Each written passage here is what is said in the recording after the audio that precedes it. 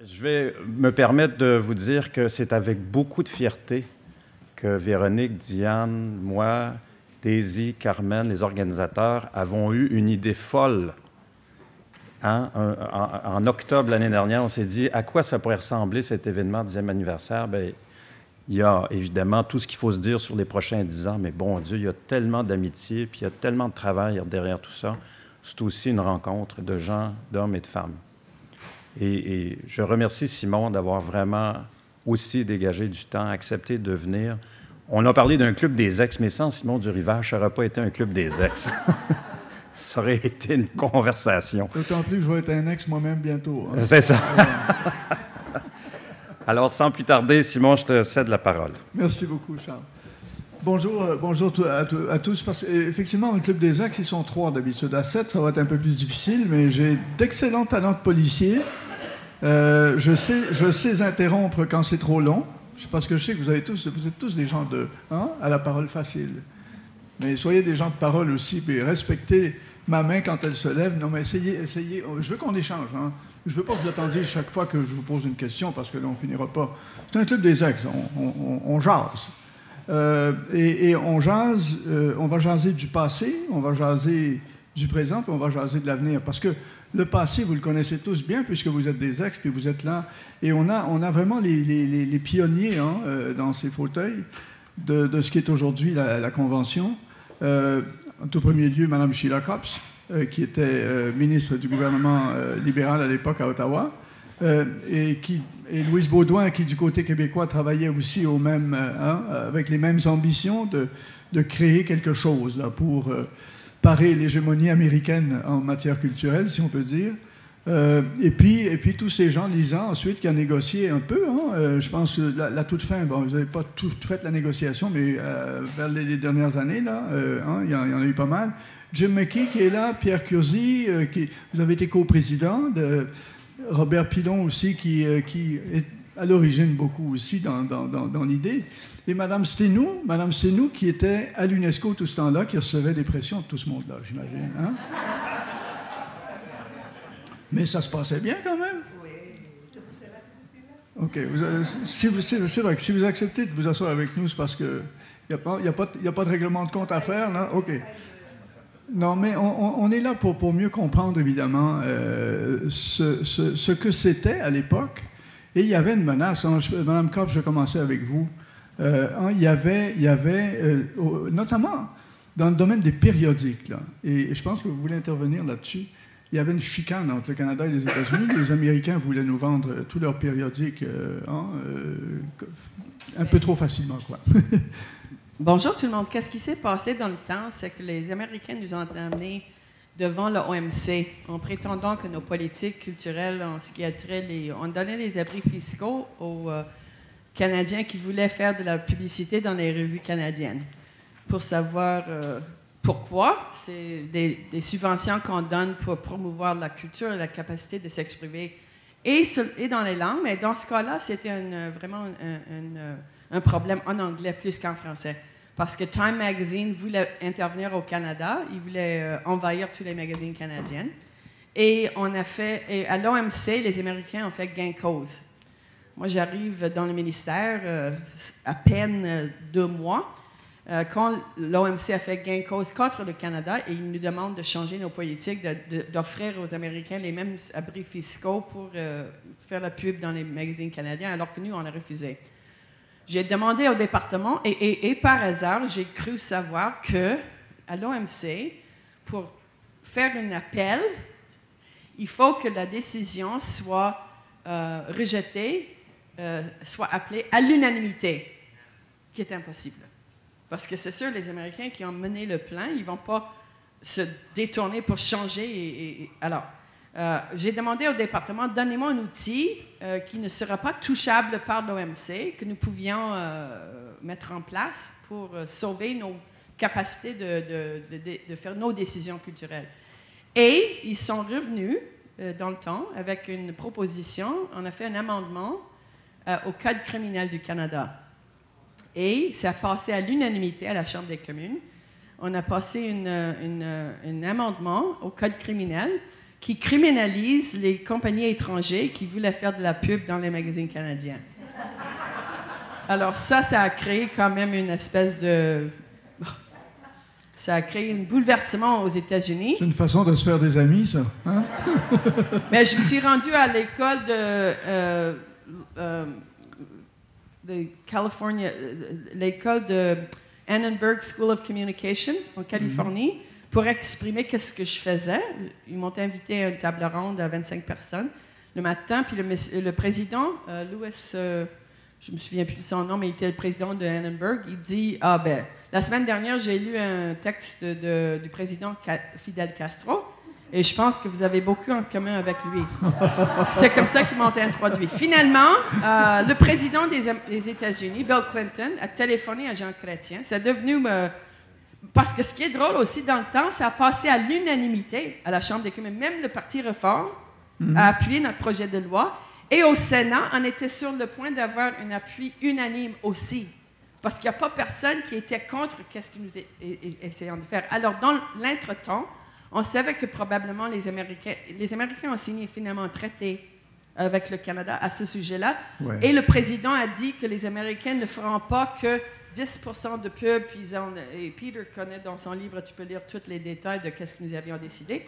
Mais en même temps, juste pour aller sur la question, je reviens sur la question de, de, l'instrument. Pendant que le code criminel déroule au Canada, je me suis dit, ben, il faut avoir une autre institution internationale qui pourrait gérer de façon euh, légitime les questions culturelles.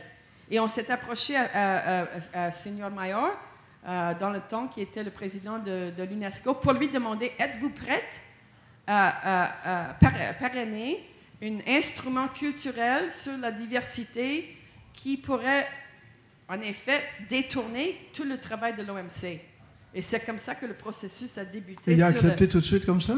Oui, il, a, il a, débuté une première. Euh, il, réfléchissait. Il acceptait de, de, faire une conférence. Et nous, on a co-présidé une conférence avec la France. Euh, qui finalement avait lieu à Paris. Ils avaient une espèce de, discussion. Et ensuite, euh, il y avait plusieurs pays. Qu'est-ce que nous avions fait? On a divisé le, monde en quatre, euh, quartiers, mais comme quartiers. Quatre zones. Et on a travaillé avec les artistes, avec le gouvernement du Québec, et pour prôner une politique que UNESCO puisse prendre cette démarche de la Convention. Et j'ai fait le pèlerinage de plusieurs pays pour euh, essayer de, mhm. de, vraiment... Les Coréens étaient vraiment euh, importants parce qu'ils faisaient beaucoup de films. Euh, aux, en, Amérique du Sud, c'était les, les, Brésiliens qui étaient beaucoup dans la maison d'édition. En Europe, évidemment, c'est la France, mais on a fait aussi l'Afrique. On a, on a, embarqué avec, avec non seulement l'Afrique du Sud, qui était très pro, mais aussi avec le Sénégal. Et, et on, en pays arabe, on a commencé avec la Tunisie, euh, qui, a, qui a travaillé tous les pays arabes pour avoir l'appui sur la, convention. Et, faire pression sur l'UNESCO pour, c'est ça, c'est, aboutir à cette convention. Alors le premier, c'est le code criminel, le deuxième, c'est l'UNESCO. Euh, et l'UNESCO, c'est mieux. Bon, Louise, Louise parallèlement, vous travailliez à, au même pendant chose, ce temps-là, Pendant ce temps-là, à Québec, j'ai la raison de dire qu'on était moins interpellé par la question des magazines. Je me souviens même d'avoir eu une discussion avec Lucien Bouchard, qui était premier ministre à ce moment-là, puis il disait, oui, c'est quoi cette affaire-là? Puis pourquoi on embarquerait? Parce qu'on voulait quand même, je voulais quand même qu'on appuie le Canada là-dessus, ça me semblait élémentaire. Mais c'est sûr que ça avait moins d'impact ou moins de résonance, disons, politique euh, et culturelle au Québec. Alors nous, ce qui nous a allumés, c'est l'accord multilatéral sur les investissements, qui était en négociation et qui, justement, mettait en cause, euh, disons, l'exception culturelle. Et euh, les Français ont décidé, Lionel Jospin et le Premier ministre, euh, de tirer à plat, en quelque sorte, de dire, nous, on arrête de négocier cet accord multilatéral sur les investissements parce qu'il est dangereux. La culture va, se faire noyer là-dedans. Exactement. Alors là, au gouvernement du Québec, ça sert à quelque chose, les euh, rencontres de premiers ministres français et québécois, parce que Lionel Jospin est venu en décembre 98. On venait d'avoir des élections. Moi, je suis passé d'ailleurs de la culture à ce moment-là euh, aux relations internationales. Et avec Lionel Jospin, on a formé un premier groupe de travail franco-québécois avec Catherine Lalumière, qui était une ancienne ministre euh, socialiste, et donc française, et Marie Malavoie. Marie Malavoie, qui était à ce moment-là à l'Université de Sherbrooke, qui était une universitaire de l'Université de Sherbrooke. Et c'est à partir de ce premier groupe de travail qui a rendu, à un moment donné, un, rapport que nous, en tout cas, on s'est euh, mis en marche, en quelque sorte. Ben ben, et là, je vois le triangle euh, France, Québec, Canada se mettre en marche pour organiser. Parce qu'on est les pionniers, je pense, là. Euh, que ce soit le Canada, le Québec ou la France. ces trois pays sont vraiment les pionniers de cette convention-là. Il y avait les deux niveaux de gouvernement, mais il y a aussi la société civile qui, au même moment, euh, alertée par les milieux cinématographiques français Entendez-vous, contre, euh, contre l'accord euh, multilatéral sur les investissements, ça a été le premier signal. Et là, la société civile, c'est-à-dire l'ensemble des organisations du Québec en culture, des syndicats, producteurs, tout le monde, euh, autant les artistes que ceux qui produisaient, que ceux qui diffusaient. On s'est réunis, ça a été le début. Et à ce moment-là, je pense que c'est euh, la ministre de la Culture, c'était euh, Agnès Maltais, qui a été la première réunion. À partir de là, on a créé la première coalition donc, pour la diversité culturelle. Je veux dire une chose sur la diversité culturelle. Les Français nommaient ça l'exception culturelle. Et nous, on s'est dit que ce concept-là d'exception culturelle avait euh, un, problème, c'est qu'il situait la culture en fonction du commerce et qu'il était très euh, restrictif, très défensif. Et rapidement, je pense que c'est Robert, je ne sais pas c'est qui qui a inventé, mais en tout cas, on a inventé le terme de, diversité culturelle. Puis, c'est toi? Bon, je savais qu'il y en avait une responsable ou un responsable. Mais chez là, en tout cas. c'est plus positif. Oui, c'est plus positif. Plus positif. Prenez donc votre micro, madame. Madame Cox. Prenez votre micro. Ah, il y avait toujours cet euh, écart entre le multiculturalisme et on cherchait un mot qui pourrait jouer dans le sens des diverses cultures, mais aussi dans le sens des, de la culture. Et la diversité culturelle a été euh, euh, énoncée dans, le, dans le, la réunion de l'UNESCO où Yasser Arafat était. Et on a donné un discours, la première discours sur la diversité culturelle était là. Et c'est nous qui avions pris euh, l'idée de, de, changer un petit peu la polémique dans les langues de exception culturelle et multiculturalisme. Oui, parce qu'on ne voulait pas confondre justement la diversité puis le multiculturalisme. parce que là, on tombait dans un gros débat fédéraliste, souverainiste, puis on ne voulait pas tomber là-dedans, puisque la preuve est que nous avons réussi. Bon, oui.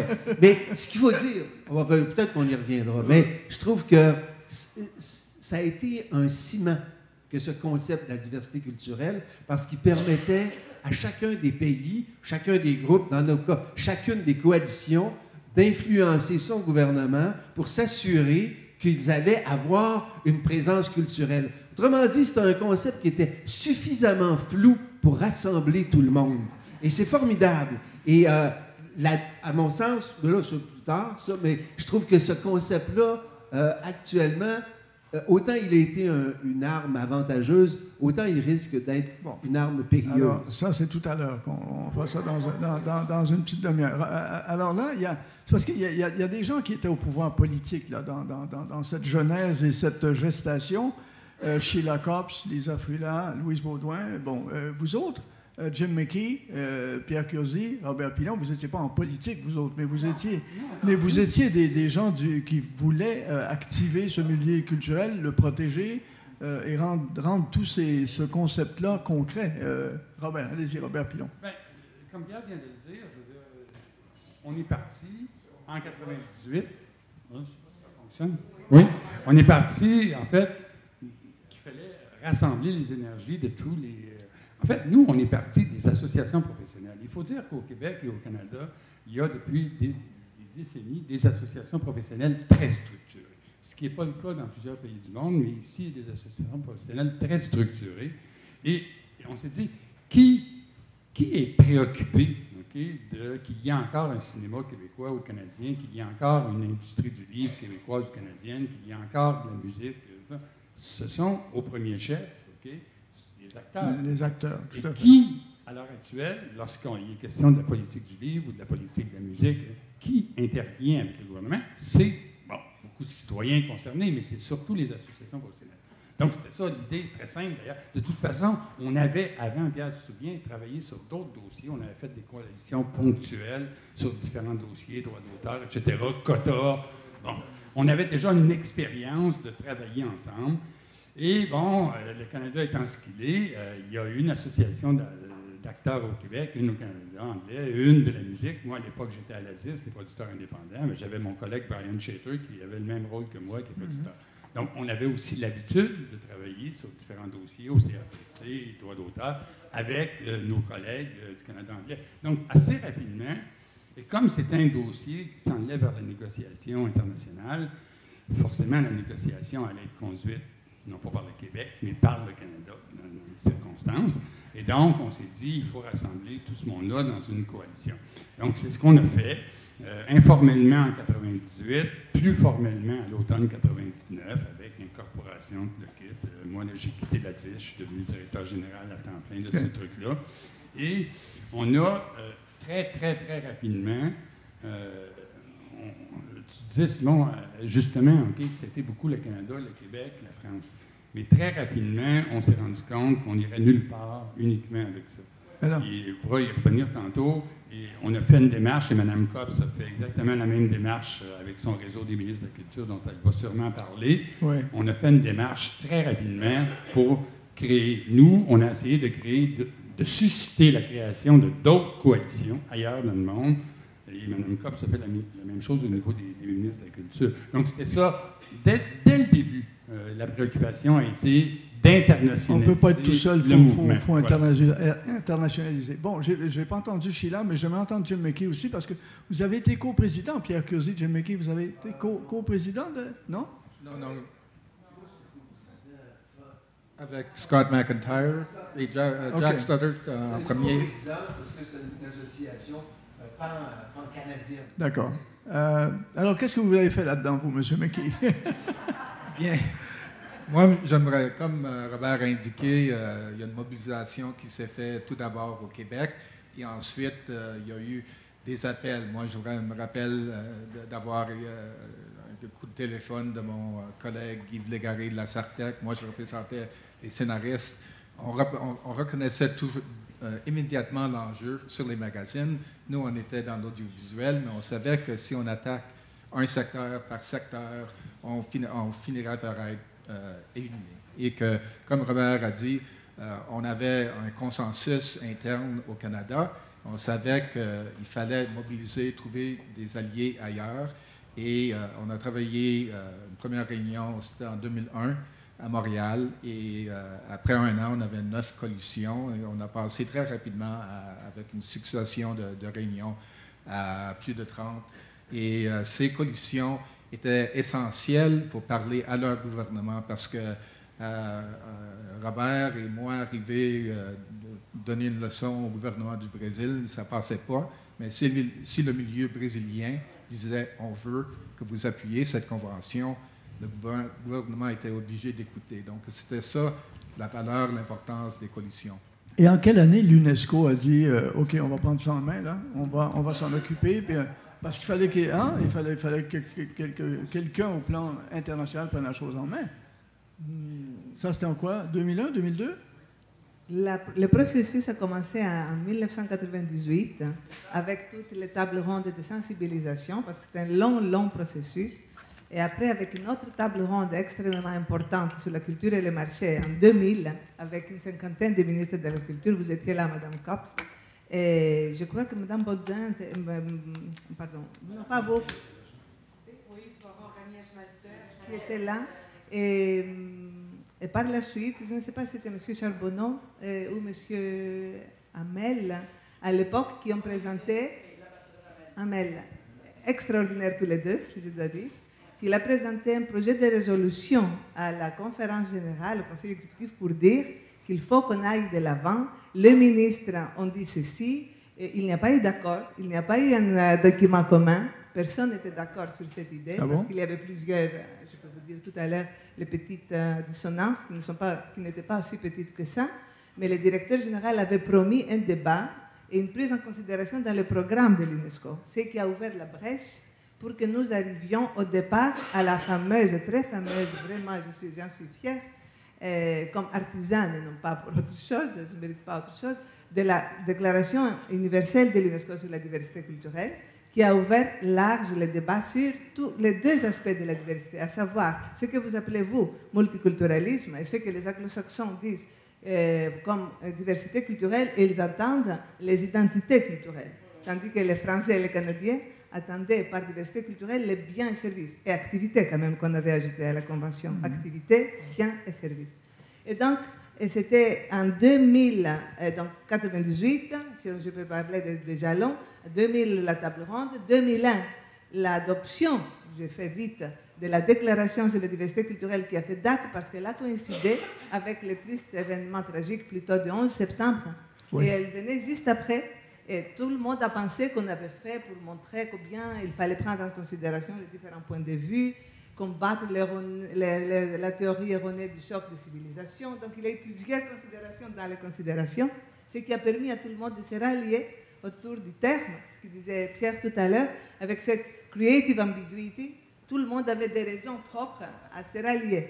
Et Bien. puis, il y avait là le premier, la première graine qui permettait l'élaboration de l'instrument, puisque la, la déclaration, pour ne pas lui enlever la force morale et la- le format concis, elle avait un plan d'action.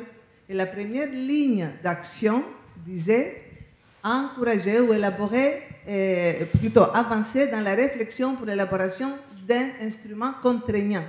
Et c'est là où on a ouvert la brèche pour arriver à la convention. Donc, Là- ronde, déclaration, convention, qui a commencé en 2001 pour arriver en 2005. euh, Et ça, ça a pris quatre ans. Donc 2001-2005. Et là, vous étiez au, euh, au fourneau, là, Lisa, parce que, hein, comme ministre, vous avez négocié en quelque sorte. Moi, je suis arrivée, là, j'ai négocié. Là, je- moi, j'arrive en 2003. Il faut dire que la première fois où j'ai parlé de protection culturelle, c'est avec euh, Jacques Toubon, je sais mon ami Louise, j'étais avec Jacques Toubon, nous sommes en 1992. Ministre Je suis en train d'élaborer, notre ministre français, on est en train d'élaborer la politique culturelle du Québec, 92.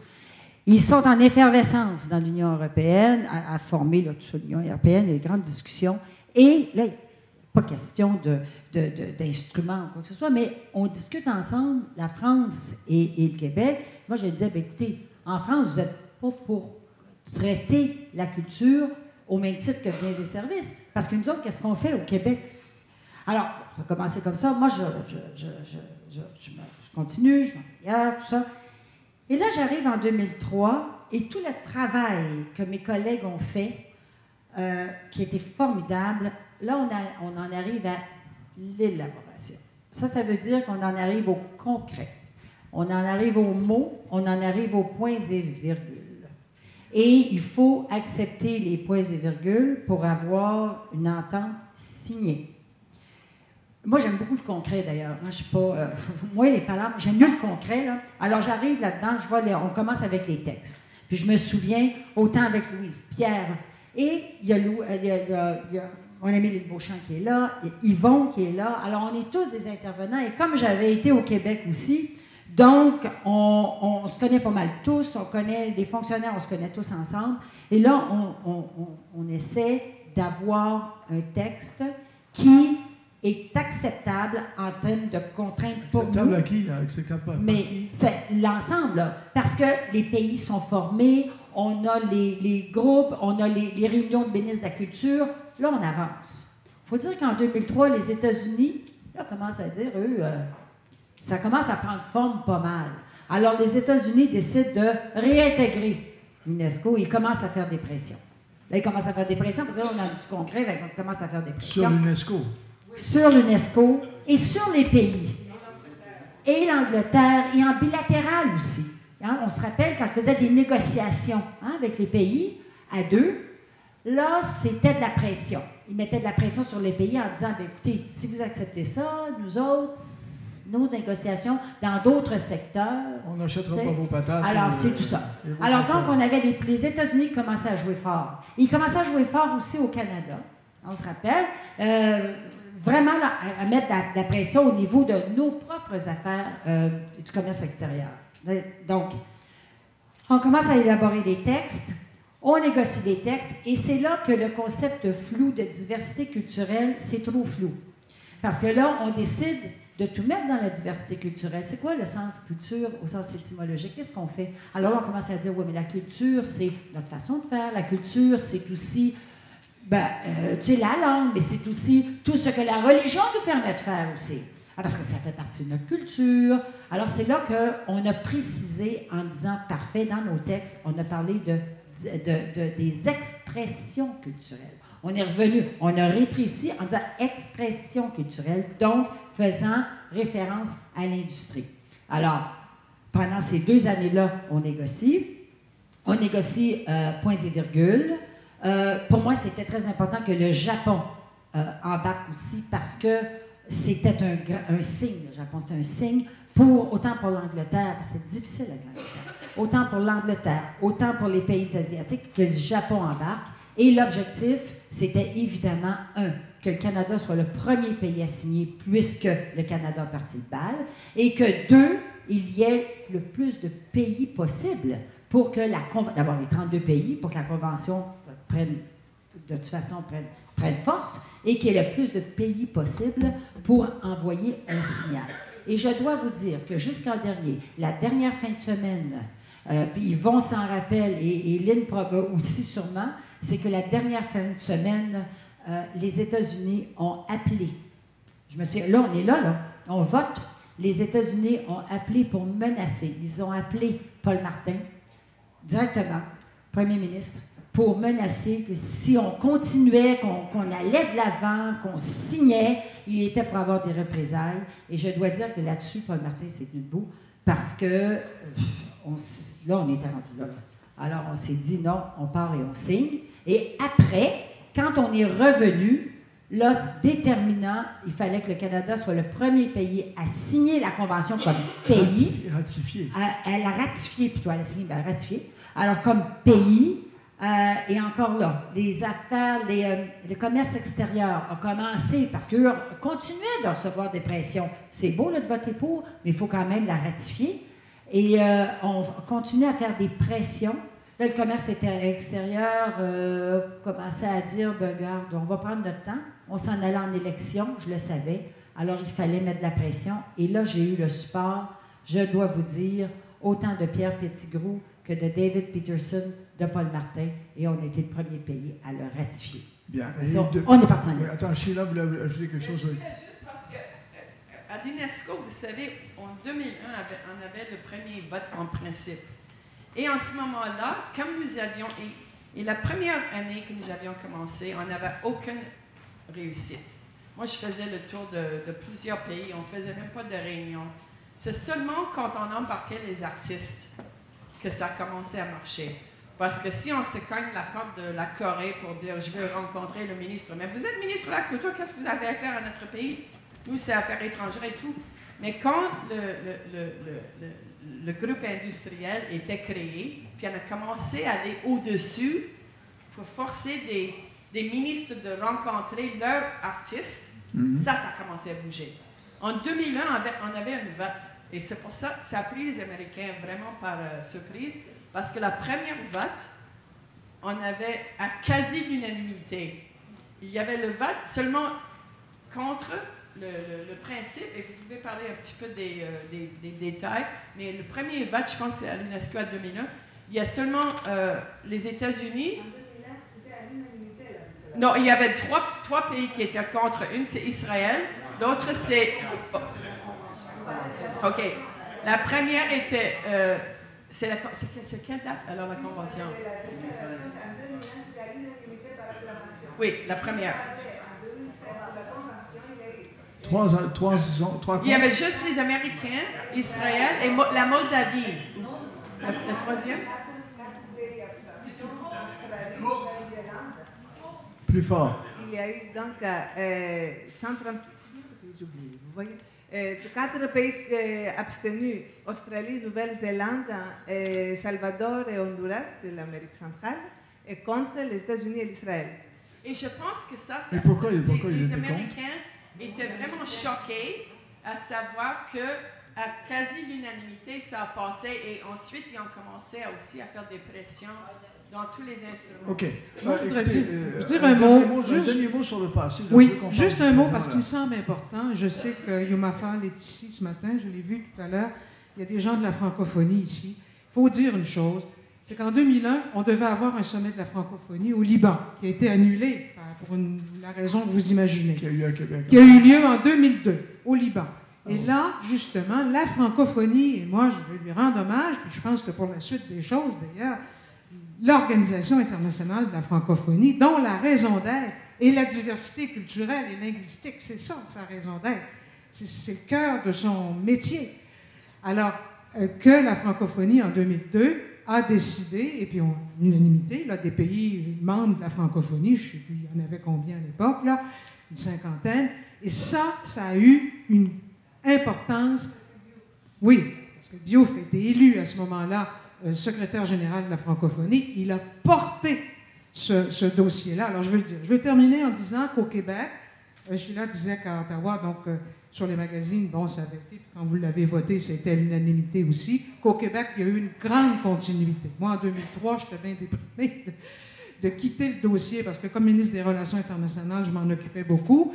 Euh, Céline qui est arrivée, qui a pris la suite avec Jean Charest, et je dois dire que ça a été, franchement, dans une grande continuité, dans une grande unanimité que je souhaite encore, bien sûr, toujours dans ce dossier. OK, je, je- rapidement, parce que je veux Ah, juste parler du fait qu'il y a eu une mobilisation des artistes. Vous l'avez dit ici, là. C'est ça aussi qui mettait de la pression. Puis c'est important parce que c'est la promotion et, et la production des expressions culturelles. Pourquoi? Parce que quand il y a des, politiques culturelles, quand il y a des secteurs culturels organisés, il y a des artistes qui peuvent euh, s'exprimer, produire dans différents domaines et en vivre. L'idée derrière cette, euh, cette convention-là, c'est de dire si on arrive à maintenir en place les structures dans les pays où il y en a et à susciter la création de structures dans les pays où il n'y en a pas, on va donner naissance à une production culturelle. Et quand tu produis culturellement, tu juges pas de ce qui est contenu dans la production, mais tu as la possibilité d'affirmer des langues, d'affirmer des différences, d'être la culture que tu veux obtenir de chez toi. Donc, il y a une identité nationale qui peut être très variable et qui est très variable, qui était liée à l'idée de défendre des pratiques et des organisations culturelles. C'est ça l'idée de la Convention. Il ne faut jamais l'oublier. Et c'est pour ça, elle était précise. Et c'est pour ça qu'on n'est pas allé du côté des langues, du côté des religions. On est allé du côté de ceux qui créent la culture dans chacun des pays du monde. Très Ce sont bien. des hommes et des femmes. C'est bon, c'est bon. On l'applaudit. Hey, oh. Oui.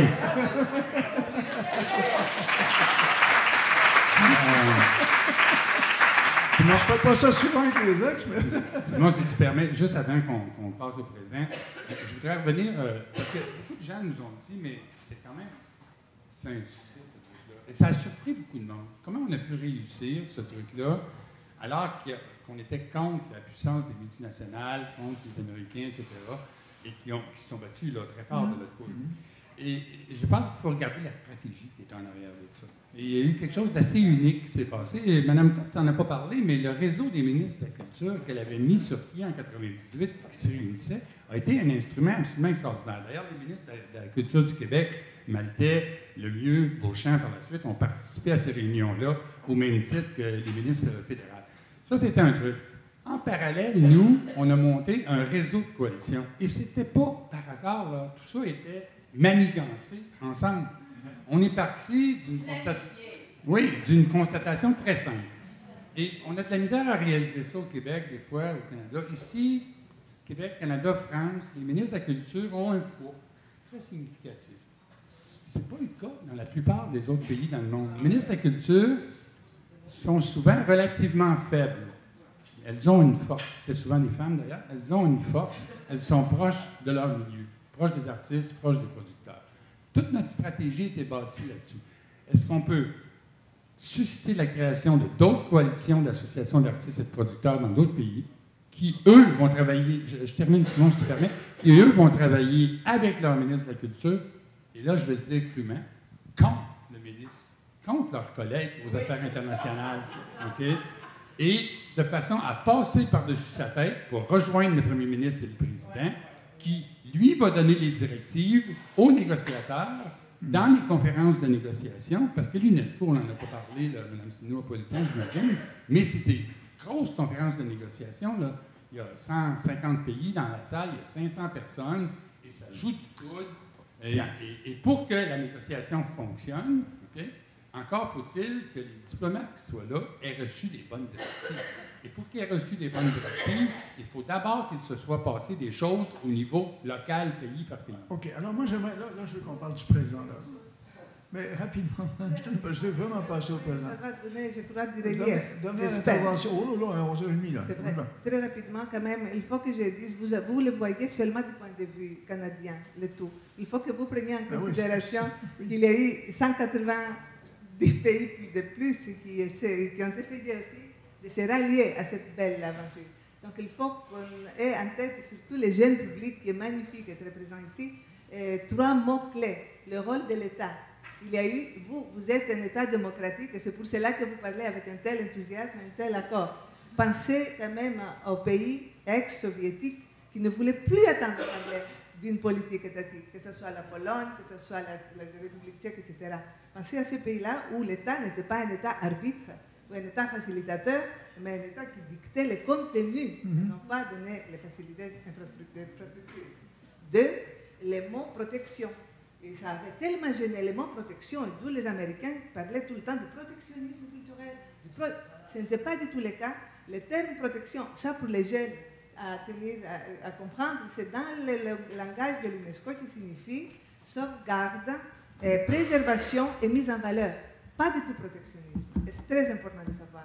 Troisième élément, très fort, je crois, encore pour les jeunes, c'est un mot free, libre. Ça, ça m'a blessé parce que le mot free, à l'UNESCO, qu'on parle de free flow of information, de ceci et de cela, a été tellement malmené parce que si bien les pays riches n'ont pas voulu voir le mot accès libre, même pas le Canada, le mot libre à côté de l'accès, parce que ça fait partie d'eux, et, et les autres pays n'ont pas voulu le mot libre parce qu'ils ne voulaient pas qu'il y ait liberté d'accès de contenu, donc changement de mentalité du reste. Je ne vais pas les nommer, mais vous comprenez de qui il s'agit.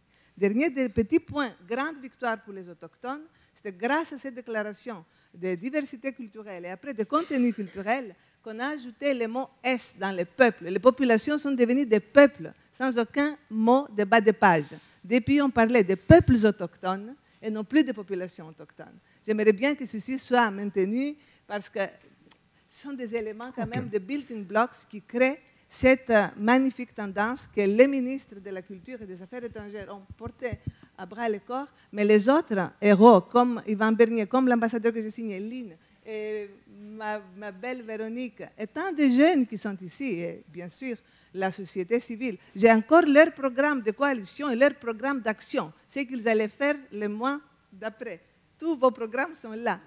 Et pour vous dire que de telles choses se font doucement, mais les questions de base de protectionnisme, du rôle de l'État, de la double nature des biens et services culturels, que ce soit le corps et l'esprit, le sens et l'essence, c'est-à-dire le sens comme meaning et le sens comme sens, sensuel. On ne comprendra pas si on ne comprend pas, si on ne donne pas de relief de la culture pour comprendre la différence par rapport aux tomates et, et à un autre produit. Vous êtes tous, vous êtes tous des...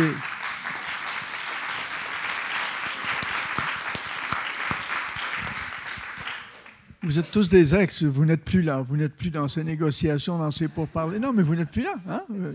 Mais, mais vous l'avez suivi, j'imagine. euh, Vous avez suivi l'évolution. Ça fait dix ans là, que, cette euh, convention est en vigueur, qu'elle existe. Euh, combien de pays l'ont signée au total jusqu'à maintenant? 100 139 Bon. euh, C'est énorme, hein, Simon, là, euh, 139, je sais pas, c'est pas rien, Pensez-vous à des exemples concrets là, de, de- de- de choses qui ont marché ou, de- ou à l'inverse, des, des exemples concrets de choses mais qui n'ont vraiment pas marché ou où la convention n'a pas été utile ou, ou- ou, contre-productive, je ne sais pas. Positif, oui? Allez-y, Louise. Louise Baudouin, oui. Je pense que les exemples euh, positifs, euh, en tout cas en ce qui nous concerne, je ne voudrais pas que Katerina dise qu'on est ethnocentrique encore, mais euh, j'ai parlé de la francophonie, et justement, la francophonie, beaucoup de pays émergents, puis beaucoup de pays pauvres, etc. Et ça avait un sens quand Diouf portait ce dossier-là. Alors, c'est dans les accords de libre-échange. Alors, on peut en discuter, mais il y a eu quand même, dans certains accords, il y a des chercheurs ici, Kim et puis euh, Véronique, qui peuvent nous le dire, Daniel Turp aussi, dans des accords de libre-échange, maintenant, on fait référence à la Convention. On est obligé. On est obligé. obligé. Il n'y a personne qui est obligé. Ça n'existait pas avant. Puis bon, alors, c'est un instrument supplémentaire dont les pays peuvent se servir et on le fait soit dans le préambule ou soit ailleurs, mais en tout cas, il y a quand même euh, des exemples maintenant. On pourrait discuter longuement de l'accord de libre-échange Canada-Union européenne, puis de celui qui s'en vient avec le, Pacifique, avec les pays du Pacifique, comme l'Union européenne avec, l'Europe. Mais il y a quand même ça, ça existe maintenant, puis on peut s'en servir, et euh, c'est là. Bon, première des choses, parce que qui a rappelé ces chiffres-là? Bon, l'OMC, il y avait donc cette bagarre à savoir comment l'OMC va gérer justement la culture, puis les contenus culturels, puis les industries culturelles, comme des tomates ou comme autre chose. Et c'est là l'idée, donc, que Sheila l'a rappelé, Mme Steno aussi, d'un instrument, donc, à l'UNESCO, qui soit ailleurs qu'à l'OMC, qui soit dans un organisme international distinct. Quant à savoir ce qui n'a pas marché, moi, je vous le dis, comme je le pense, je l'ai écrit d'ailleurs, parce que j'ai retravaillé sur le dossier pendant quatre mois à Paris à la francophonie, à l'Organisation internationale de la francophonie. J'ai fait un rapport là-dessus euh, en 2014. C'est le fond. Parce que la solidarité internationale devait s'exprimer par un fonds, mais qui est à contribution volontaire, vous le savez tous, on n'avait pas le choix, semble-t-il, ça n'aurait pas été signé, on n'aurait pas eu les signatures nécessaires pour l'adoption de la Convention si ça avait été un fonds à contribution contraignante qui aurait fait que chacun aurait mis son écho dans le fond.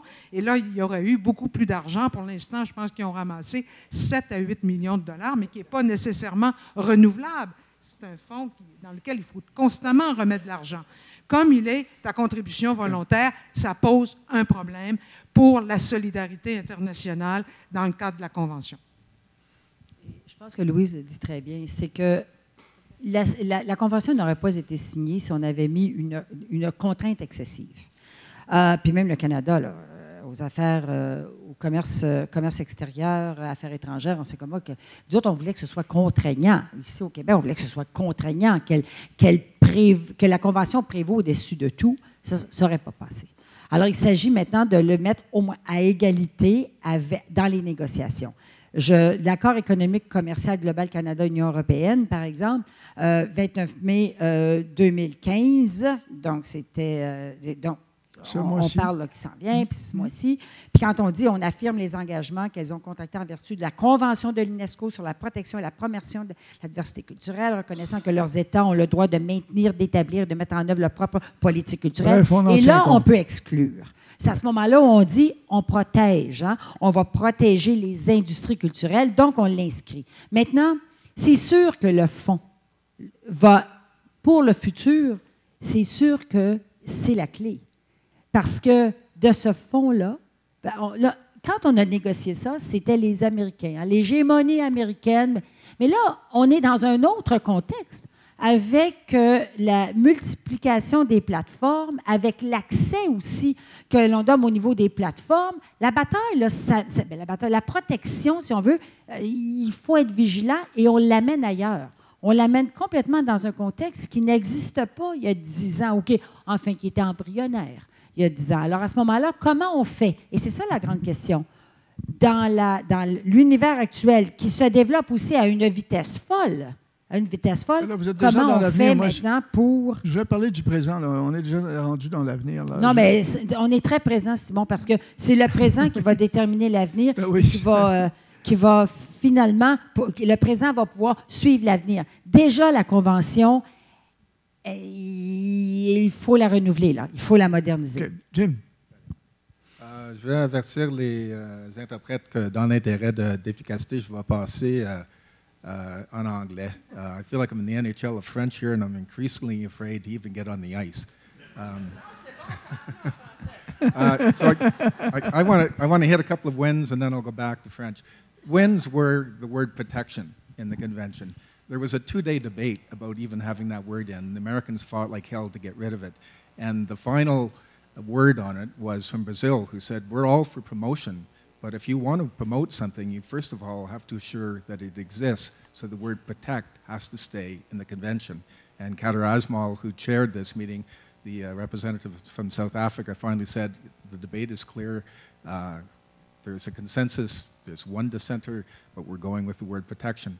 Um, another win was Article 21. The, the, the, question, I believe it's Article 21. I can't take a test on the convention now because it's been a while. But the question of having language, even if ambiguous language, asserting a relationship between the convention and international trade agreements. And that led to uh, a consensus of uh, awareness of the need to keep uh, cultural goods and services out of trade negotiations. Um, also, a win was that in certain countries that were not democracies, uh, we had uh, coalitions mobilized. Morocco was an example. And they held an initial demonstration, and they were actually beat up by the police. But over time, the relationship between the cultural organizations and the state changed as a result of their forming this coalition. Mm -hmm. um, another very happy outcome was the creation of U40, the La Relève, I'm like a hobbit who's had this big adventure and is happy to sit in the backyard and smoke a pipe and watch the kids play. What's and in the pipe? well, well, maybe we'll get to Colorado, but that's a different story. Um, euh, tout euh, au début, vous avez demandé qu'est-ce qu'on qu a fait. Et, euh, André Bureau nous, nous décrivait comme des, des commis voyageurs. On était des commis voyageurs d'idées. Et les idées qu'on vendait étaient vraiment des idées euh, exprimées surtout au début par un texte sorti, émis par euh, le groupe sectoriel sur les industries culturelles euh, euh, et aussi euh, quelques textes mandatés par le Québec, qui est rédigé par Yvan Bernier et Len Ruiz-Fabry, et le texte Blockbusters and Trade Waters par Peter Grant, qui parlait du Cultural Toolkit, qui, qui c'est un, un, bar d'outils pour affirmer une présence pour la culture domestique. Mais quand je fais l'évaluation contexte canadienne, euh, je me souviens à l'époque de l'entrée en vigueur de la Convention, Lynn Beauchamp avait exprimé le souhait que la, Convention ne soit pas qu'un rempart, mais aussi un tremplin. Et énormément a changé, comme vous avez souligné, dans les dix dernières années.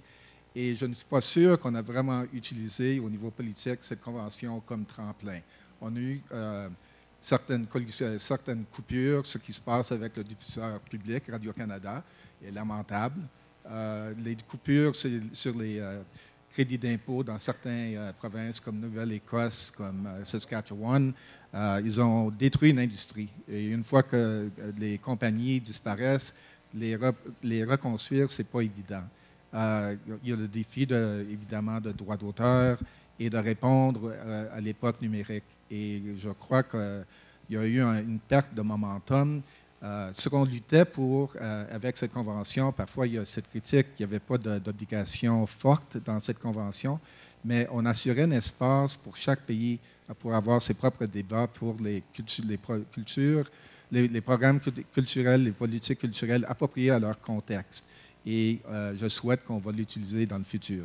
Ben, on, reconnaît l'intérêt d'un pays pour, pour la Convention ou pour toute chose dans, les ressources qu'il y met, l'argent, le personnel euh, et, les déclarations politiques. Là, euh, euh, est-ce que, je ne sais pas si quelqu'un ici est en mesure de juger, est-ce que le gouvernement actuel du Canada, est-ce que le gouvernement actuel du Québec sont enthousiastes?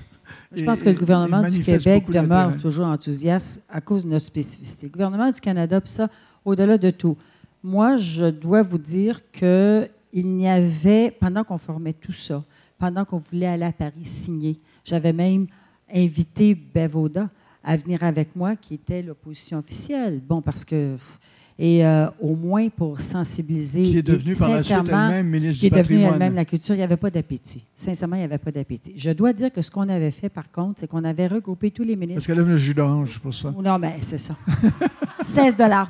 Euh, mais pour on les avait, gens, pour les gens qui ne la connaissent pas, celle-là, c'est Bevoda a été ministre de la, du patrimoine et elle, s'est retrouvée en Angleterre et parmi ses dépenses euh, à l'hôtel où elle...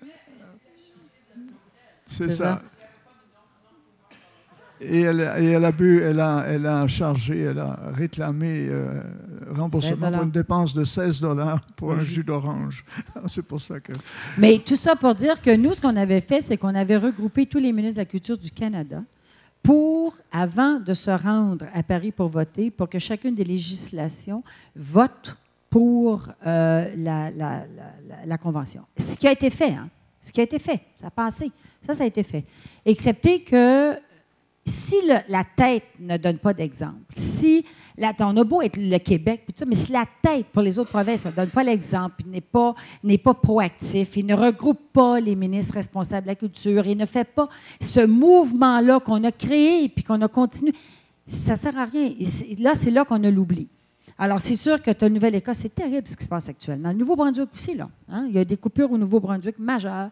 Euh, puis là, on regarde, pour, le Dieu déficit zéro, euh, on regarde à peu près dans toutes les autres provinces. Et à la tête, il n'y a pas beaucoup d'appétit.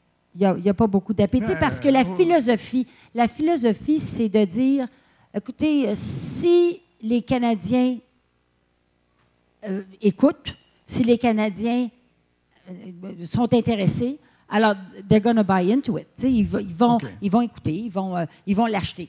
S'il n'y a pas d'intérêt, ben à ce moment-là, ça ne sert à rien de supporter. OK. Voilà, pour le Canada. Ailleurs dans le monde, est-ce que, est que la Convention est, quelque chose... Euh, êtes-vous en mesure d'en témoigner, madame?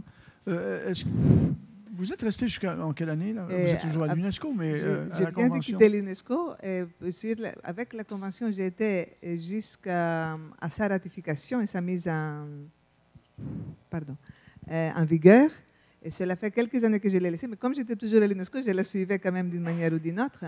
La convention, comme toute convention, a passé un moment de, comment dirais-je, petite platitude parce qu'elle était obligée d'élaborer ses guidelines, comme on dit, ses orientations stratégiques pour sa mise en œuvre effective.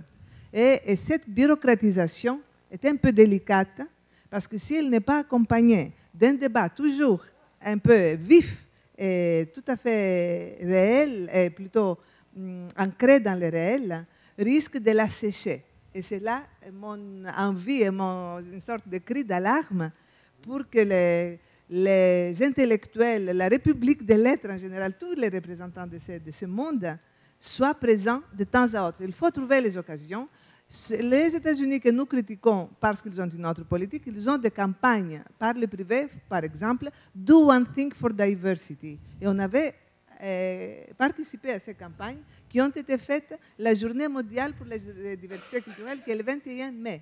Ils ont hmm. ignoré la convention. Mais nous, nous avons trouvé l'occasion de parler de la convention chez eux, tout en trouvant cette petite locomotive.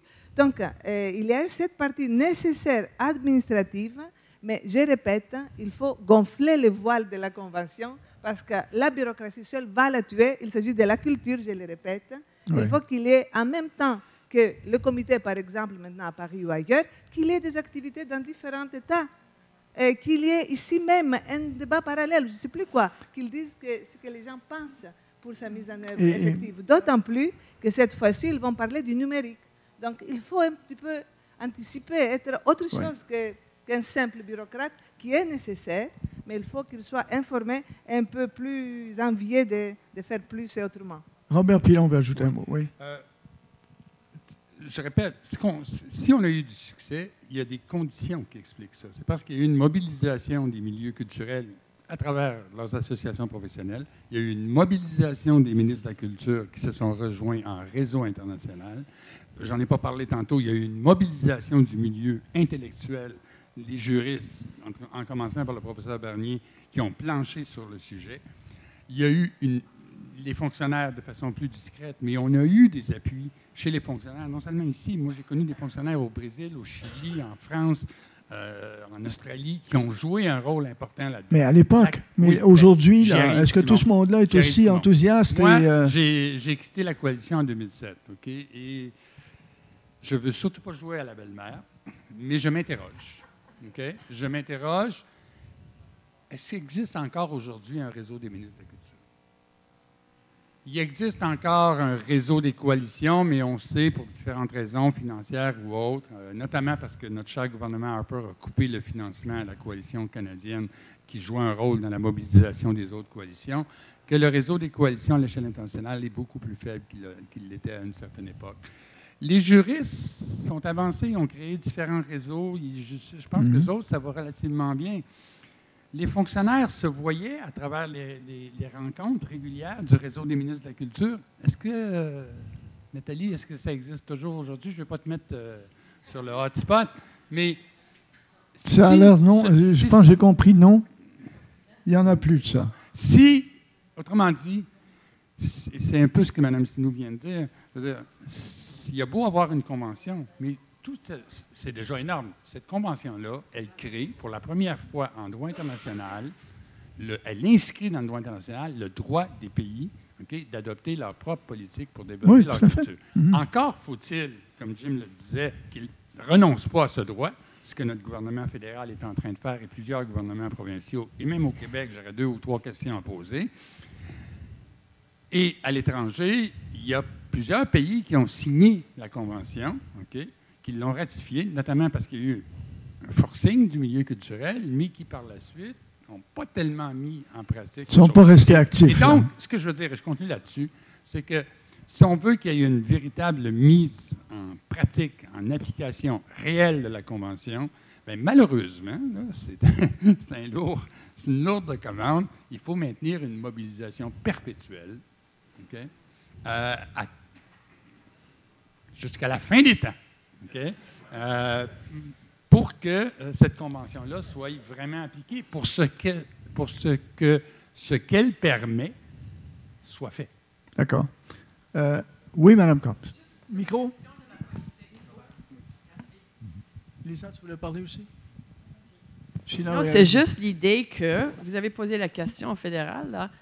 Quand M. Harper s'est présenté aux prochaines, premières élections, il a nommé cinq priorités Allez donc dans le dernier budget, allez donc dans les discours du trône, allez donc dans tous les discours depuis, euh, depuis qu'il est arrivé.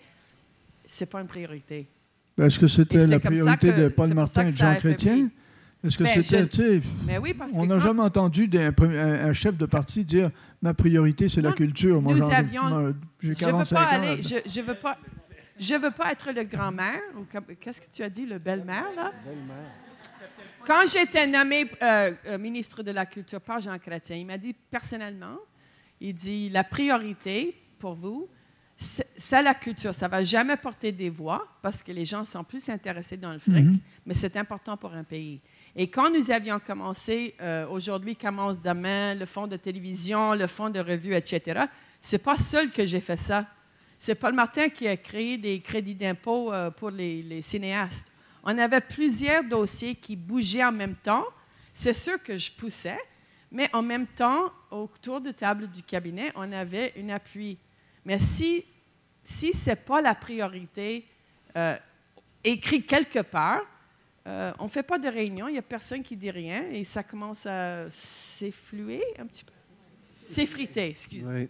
Moi Simon, quand on dit on n'entend pas, c'est sûr que le premier ministre a énormément de dossiers sur le premier ministre du Canada. C'est ça que ça prend, c'est que le premier ministre sait qu'il est appuyé par ses, ministres qui, eux, vont porter le dossier.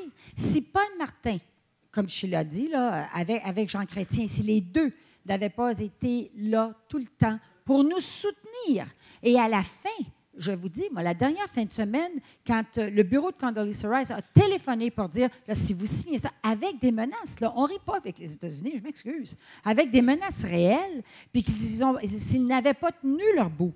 Et quand je suis revenue au Canada et qu'on s'est dit, le Canada doit être le premier pays à signer, les menaces ont continué. Et s'ils n'avaient pas tenu leur bout. Alors, c'est pour ça que je reviens à dire ce que, Robert, ce qu'on dit tous ici, c'est que il faut que ça commence par la tête. Et la tête, ben, il faut que la tête donne les exemples. Après ça, euh, la, la, la, la, déclinaison et tout ça se, fait, euh, et le reste suit. Et bon, puis on, oui, on a des compromis, puis tout ça, mais ça part de la tête et on ne sent pas aujourd'hui, nulle part, que la tête trouve ça important. on le sent dommage que la tête soit pas là, par contre. J'aimerais ça que la tête soit là. Mais qu'on lui pose la question. Mais je, ne sais pas non plus. Puis effectivement, on se pose plein de questions quand on lit le journal, quand on écoute les nouvelles. On ne sent pas un très grand enthousiasme du gouvernement actuel. Mais euh, je, vous êtes deux anciennes ministres libérales, mesdames. Là. Je ne peux pas, peux pas oublier ça non je plus. comprends. On veut, on veut exclure ça parce que demain matin, on aurait, par exemple, j'écoute le discours du NPD, j'écoute le, le, les, les, discours actuellement. Mais il faut réveiller. C'est ça que je, dis. Parce qu'à un moment donné, il faut maintenant, peut-être, comme on dit, commencer par la base et commencer à dire. Ben J'ai plus l'impression, puis ça va nous amener à parler de l'avenir. J'ai plus l'impression que. pour, pour, continuer, on a commencé le processus d'abord avec la coalition pour les droits d'auteur. Oui. Les droits d'auteur mènent l'argent dans le poche de ceux qui sont dans la création. Ce n'est pas juste faire un discours je suis pour la couture. Vous légiférez vous créez des encadrements législatifs si vous avez l'appui de vos collègues et si, si c'est à l'intérêt. Le reste, là, le reste, c'est du blabla. Parce que si, si, si on peut dire aujourd'hui, et moi je ne suis plus dans la politique, je suis euh, ça de loin, donnez-moi depuis cinq ans ou depuis huit ans une initiative législative dans le domaine de la culture. On ne peut pas en donner une c'est pour ça qu'on ne peut pas dire que c'est toujours pareil au même, parce que dans la période où nous étions là, c'est sûr que nous avions fait la bataille contre les, radiodiffuseurs, entre autres. OK, mais là, on est très canado-canadien, là. Hein? Non, mais on aussi ailleurs, là. Si, Non, non, d'accord, d'accord, mais s'il y a moins d'enthousiasme, OK, disons qu'il y a moins d'enthousiasme dans, euh, dans, le, dans les pouvoirs politiques actuels pour ces, ces questions-là euh, au Canada ou au Québec, euh, est-ce qu'il y en a moins aussi ailleurs dans le monde? Autrement dit, est-ce que dix ans après, on, tient pour acquis que ça existe? Il y a une convention, là, puis parfait, elle est là. Au cas, si on en a besoin, on s'en servira, mais est-ce que c'est comme ça ou... brièvement, Simon, j'ai juste que la tête est importante, mais le cœur est pour beaucoup dans ces décisions-là. Puis le cœur, c'est, euh, ce sont les artistes, et les artistes sont peut-être euh, confrontés à plusieurs dilemmes où la, réussite, par exemple, de leur expression est peut-être moins liée à, des politiques territoriales et à des politiques qui soient identitaires. Et c'est des problèmes extraordinairement délicats et complexes. L'expression artistique maintenant, c'est aussi mondialisé dans la tête de bien des créateurs. Et donc, cette notion-là d'avoir des politiques qui nous permettent, comme nation, comme peuple, de nous exprimer, c'est peut-être une notion qui est moins euh, concrète qu'auparavant. D'où probablement la mobilisation différente de la part des artistes. On ne sent pas qu'il y a chez l'ensemble des artistes cette, ce même engagement qu'il y a déjà eu. Et, ça, et là, on tombe dans des questions extrêmement euh, délicates. Parce que là, la culture se mondialise aussi. Euh, l'expression culturelle se mondialise beaucoup. Hein? Est-ce que, dois abandonner les politiques culturelles pour autant? Sans doute pas. OK. Louise, rapidement, parce que je, veux que Mme Sténou nous dise ben, aussi. Justement, posons-nous la question, ce serait quoi la transcription des quotas dont on s'est si bien servi euh, dans la chanson francophone au Québec et au Canada? C'est quoi la transposition euh, aujourd'hui euh, dans le numérique et puis avec euh, justement toutes ces plateformes et puis tous ces euh, YouTube et tous ces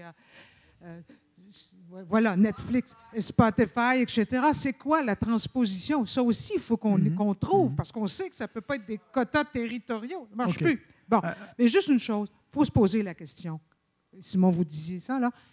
Les pays du Sud, qu'est-ce que ça leur a donné? Il y en a ici des représentants de pays du Sud pas grand-chose, j'ai l'impression. Alors, j'aimerais ça les entendre à un moment donné, parce que là, ça, valait pour tout le monde. C'est l'objet de, la, dernière demi-heure, euh, puis elle s'en vient. Hein, euh, on va vous oui, on va vouloir vous entendre, évidemment. Euh, mais, Madame Sténouveau, votre, votre expérience, là, est-ce que la Convention, ans, pendant les dix années qui viennent de se passer, a été une chose prise non seulement prise au sérieux, mais, mais, mais euh, comment on dit, alimentée par les, différents gouvernements, les différents pays. Je comprends la question, mais c'est une, une, réponse un peu, comment dirais-je, un peu mitigée. Mitigée parce que la culture ne marche pas au pas. Dieu merci. Donc elle a sa propre logique, elle fait ses propres changements dans nos radicalités ou dans nos certitudes. Et donc il y a un travail silencieux et secret qu'on ne le saura jamais. Et tant mieux parce qu'il ne faut pas qu'on la dirige trop. Mais en même temps, ceci étant dit, je suis très triste personnellement, et je partage cette tristesse avec d'autres amis et collègues ou d'autres personnes qui s'occupent de ces questions d'une manière ou d'une autre, parce qu'on parle de la diversité, et la seule chose qui ne circule pas en réalité, c'est la diversité. Donc c'est une fausse diversité que nous voyons.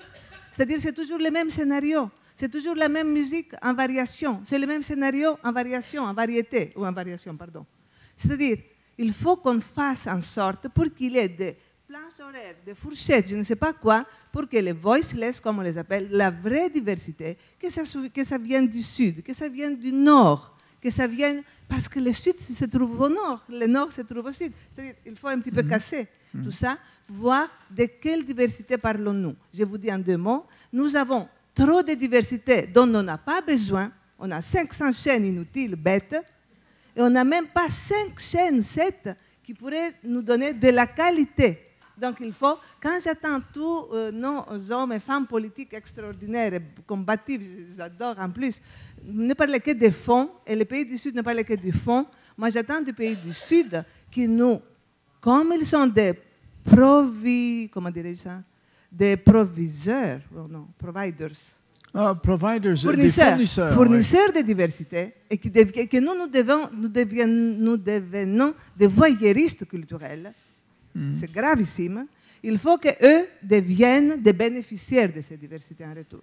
Donc il faut d'autres schémas. Et je ne vois pas cette préoccupation. Je me vois et je vois les uns ou les autres un petit peu accablés devant le manque de fonds, ce qui est une question vraie, mais peu préoccupés par les contenus que nous, mettons dans cette diversité, pour mobiliser ces voix qui sont un peu marginalisées, un peu mal, comprises, mal, mal vues.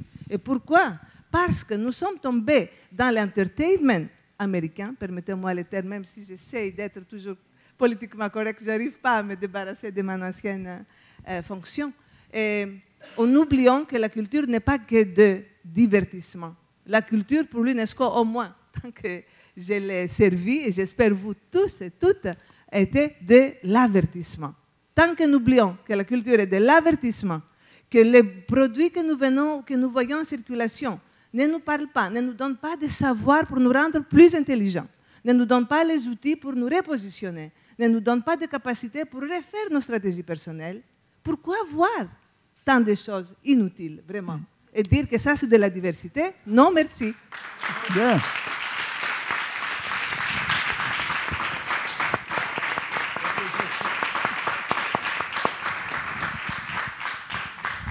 Bon, ben, c'est à votre tour. C'est pas long Oui, monsieur. On vous écoute. Voilà, donc je, voudrais euh, vous remercier pour ce travail fort intéressant que vous avez abattu euh, pendant plusieurs années pour la protection et la promotion de la diversité des expressions culturelles. Mais à vous entendre, on se rend compte que les bases, et là c'est un point de vue personnel, cela n'engage que moi, euh, les bases de cette convention ont été jetées par les pays forts et que euh, les minorités n'étaient pas vraiment associées. Est-ce que vous vous êtes déjà demandé pourquoi les États africains ont ratifié cette convention? Est-ce que dans les faits, vous ne constatez pas qu'il y a des États signataires qui, ne sont que des figurants dans cette convention-là? Est-ce que, enfin, moi j'imagine qu'à l'époque, les débats ont été menés euh, d'égal à égal entre le Canada et l'Europe, peut-être pareil pour le Japon, mais pour les pays pauvres, est-ce que les débats ont été menés sous le même angle? Est-ce que, je vais rester dans cette logique, est-ce que les débats ont été francs? Est-ce que les minorités pauvres n'avaient pas perçu la Convention comme un instrument des Occidentaux qu'il fallait tout simplement ratifier pour ne pas avoir des accrochages avec les grandes puissances?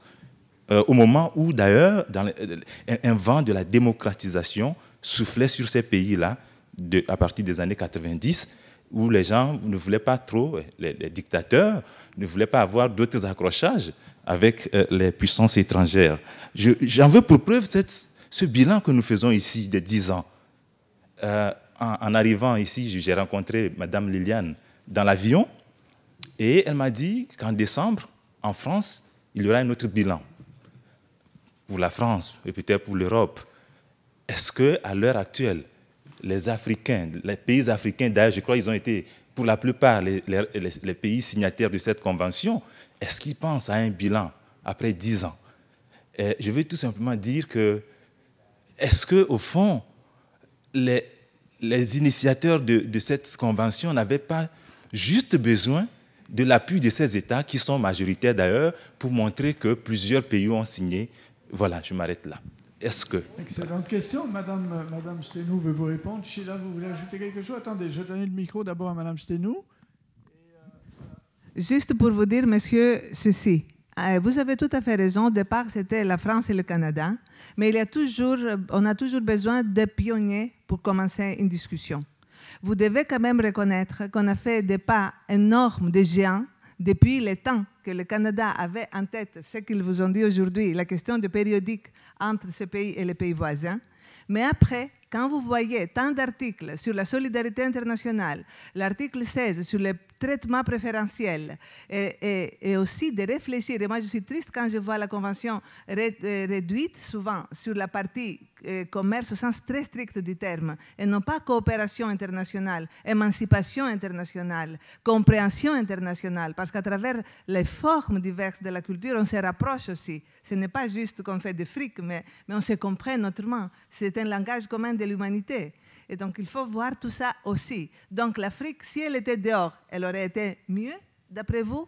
Moi, je pense, étant dedans, est bien mieux mais il faut lutter, non pas seulement avec vos, vos politiques, mais vous, comme société civile, voir euh, les, les fils de cette trame qui vous, vous sont offertes, et il y en a plus offertes, et il il y en a plusieurs, pour que vous puissiez tricoter à votre propre manière. C'est-à-dire, c'est une, une, patte à modeler la convention ayant des garde-fous.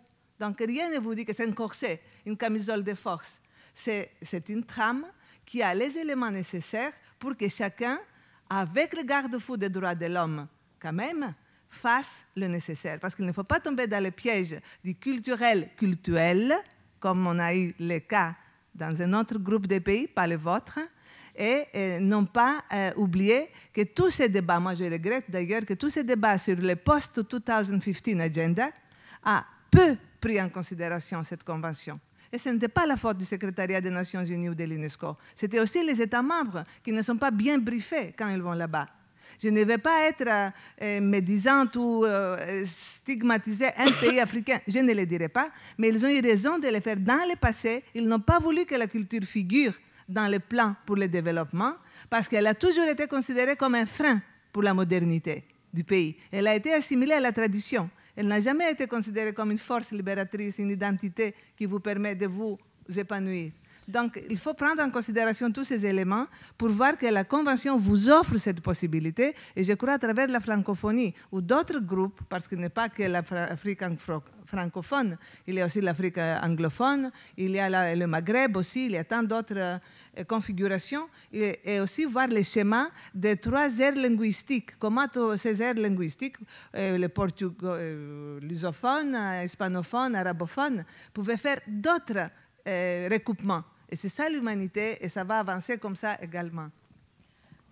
Moi, je voulais juste rejeter ce que vous proposez parce qu'un des, des pays vraiment à, l'avant-garde dans toute la question, c'était l'Afrique du Sud. Euh, le ministre Ngubane, euh, Ben Ngubane, était parmi les euh, sept pays qui ont débuté avec le Canada, Québec, la France, la Tunisie aussi, et l'Afrique du Sud, et le Brésil, et aussi la Corée. Ce sont des pays que nous avions travaillé ensemble. Et quand vous avez entendu Jim, qui a parlé tantôt de quel était vraiment le point gagnant, euh, l'arbitre dans ça, c'était le ministre de l'Afrique du Sud, qui a décidé que la protection sera mise en valeur comme une, comme une, des amendements. Alors, on a vraiment essayé de travailler euh, par euh, région et l'Afrique était présente et de la part du Sénégal aussi en, très grande force. En même temps, pour répondre ou reconnaître un souci que vous avez exprimé une des attentes des pays du Sud, c'était que les pays du Nord allaient alimenter le fonds de développement de la culture. Et franchement, ça a été une grande déception jusqu'à maintenant des contributions qui ont été portées par, ce fonds pour aider les pays du Sud pour élaborer leur propre culture politique. Bien, merci beaucoup de ces précisions. Autre question? Attendez, il y avait M. Charbonneau avant qui euh, voulait poser une question. Ça va tour tout de suite après, madame. Oui, M. Charbonneau. Oui, euh, je suis un des ex aussi. Alors, euh, je vais ajouter quelques propos. je voudrais tout d'abord témoigner pendant des années où j'étais à l'UNESCO comme ambassadeur auprès de l'UNESCO du travail acharné du secrétariat, dirigé alors par Mme Stenou, qui nous a, qui a accueilli euh, les propositions provenant des promoteurs de ce, de ce projet de convention, mais qui était au centre aussi de toutes les pressions. Elle a dû résister, contourner, manœuvrer. C'est incroyable ce que ces gens-là ont subi de pression pour finir par avancer et construire avec ceux qui le désiraient, qui étaient les porteurs de, ce projet-là, enfin, l'instrument que l'on connaît. Alors, je voulais rendre ce témoignage-là. Comme j'ai pu voir aussi euh, le, travail de la coalition, la coalition dont on a parlé en tant que représentant de la société civile canadienne, mais aussi leur travail à dimension internationale. Vraiment, tout cela a créé une armature qui, contribuait à porter, à mettre euh, de la pression en faveur de ce projet de convention. Euh, euh, nous avons tous bâti sur les, traces de nos pionnières, Mme Baudouin, Sheila Copps, qui avait lancé bien avant certains d'entre nous ce dossier. Mais comme j'étais à la Chambre de commune depuis 1997, je voudrais souligner aussi qu'en habile stratège ou en fine politicienne, Mme Copps euh, avait appuyé d'entrée de jeu la proposition que j'avais faite de créer un groupe de parlementaires amis de l'UNESCO, avec euh, aussi l'appui de la Commission canadienne pour l'UNESCO. Ce qui a servi à Mme Copps euh, d'audience auprès de 125, 140 membre de la Chambre des communes et du Sénat, où elle pouvait faire avancer ses idées, les mesurer aussi, ce qui était largement connu au sein de l'appareil gouvernemental. Et quand on dit le premier ministre face à des ministres, ils ont tous de la préparation, les ministres. Mais ceux qui sont les plus forts, ce sont ceux qui savent se bâtir un rapport à l'intérieur aussi des élus. Mme Caps a réussi cela. Je crois que ça a compté en cours de route. Je voudrais euh, dire aussi qu'il y a le rôle des diplomates qui euh, n'a pas été mis en évidence euh, parmi dans toutes les interventions que j'ai entendues. Et pourtant, cela a été déterminant à un moment donné. Lorsque la série de conférences des experts a pris fin, ça a couvert 2003-2004. Nous étions à l'automne 2004, et là, en, commence la série des conférences au niveau politique. Il y en a trois ou quatre qui se sont déroulées. Le produit devant se diriger vers la conférence générale de l'UNESCO, automne 2005. Alors, nous arrivons au mois de septembre 2005. Nous avons entre les mains ce qui était considéré dans le langage UNESCO comme un avant-projet.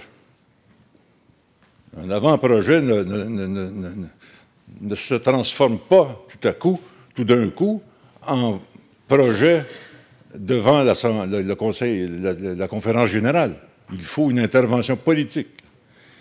Alors nous avons réussi, grâce à l'intervention canadienne, à mobiliser 52, 53 membres du Conseil exécutif qui en compte 57 pour faire considérer que l'avant-projet était devenu un projet était tellement avancé et tellement peaufiné qu'il méritait le statut de projet, ce qui lui donnait droit d'aller sur, le plancher de la conférence le mois suivant.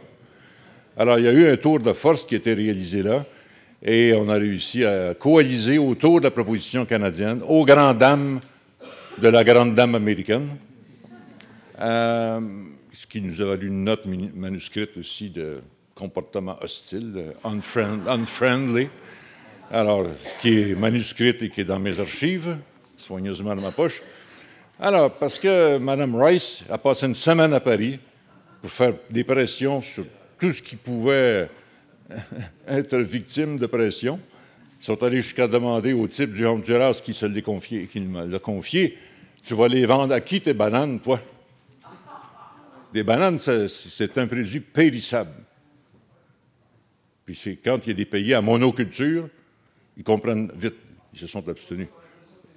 en pleurant, ils, se sont abstenus euh, avec grande émotion. Je voudrais aussi euh, souligner le fait euh, de, certains grands, réservoirs d'énergie qui existent dans le cadre de l'ONU. Par exemple, le réseau des diplomates francophones, que j'ai présidé en 2005, compte environ 55, enfin le même nombre de pays que, de diplomates. Et au début, il y avait un noyau de 10-15 pays ou diplomates qui étaient intéressés par la question, motivés. Beaucoup d'autres, ce n'était pas la priorité. Puis on comprend que les pays qui sont des petites îles dispersées à travers le monde, des petits pays africains, etc., ils ne voient pas les choses de manière prioritaire, ces, ces questions.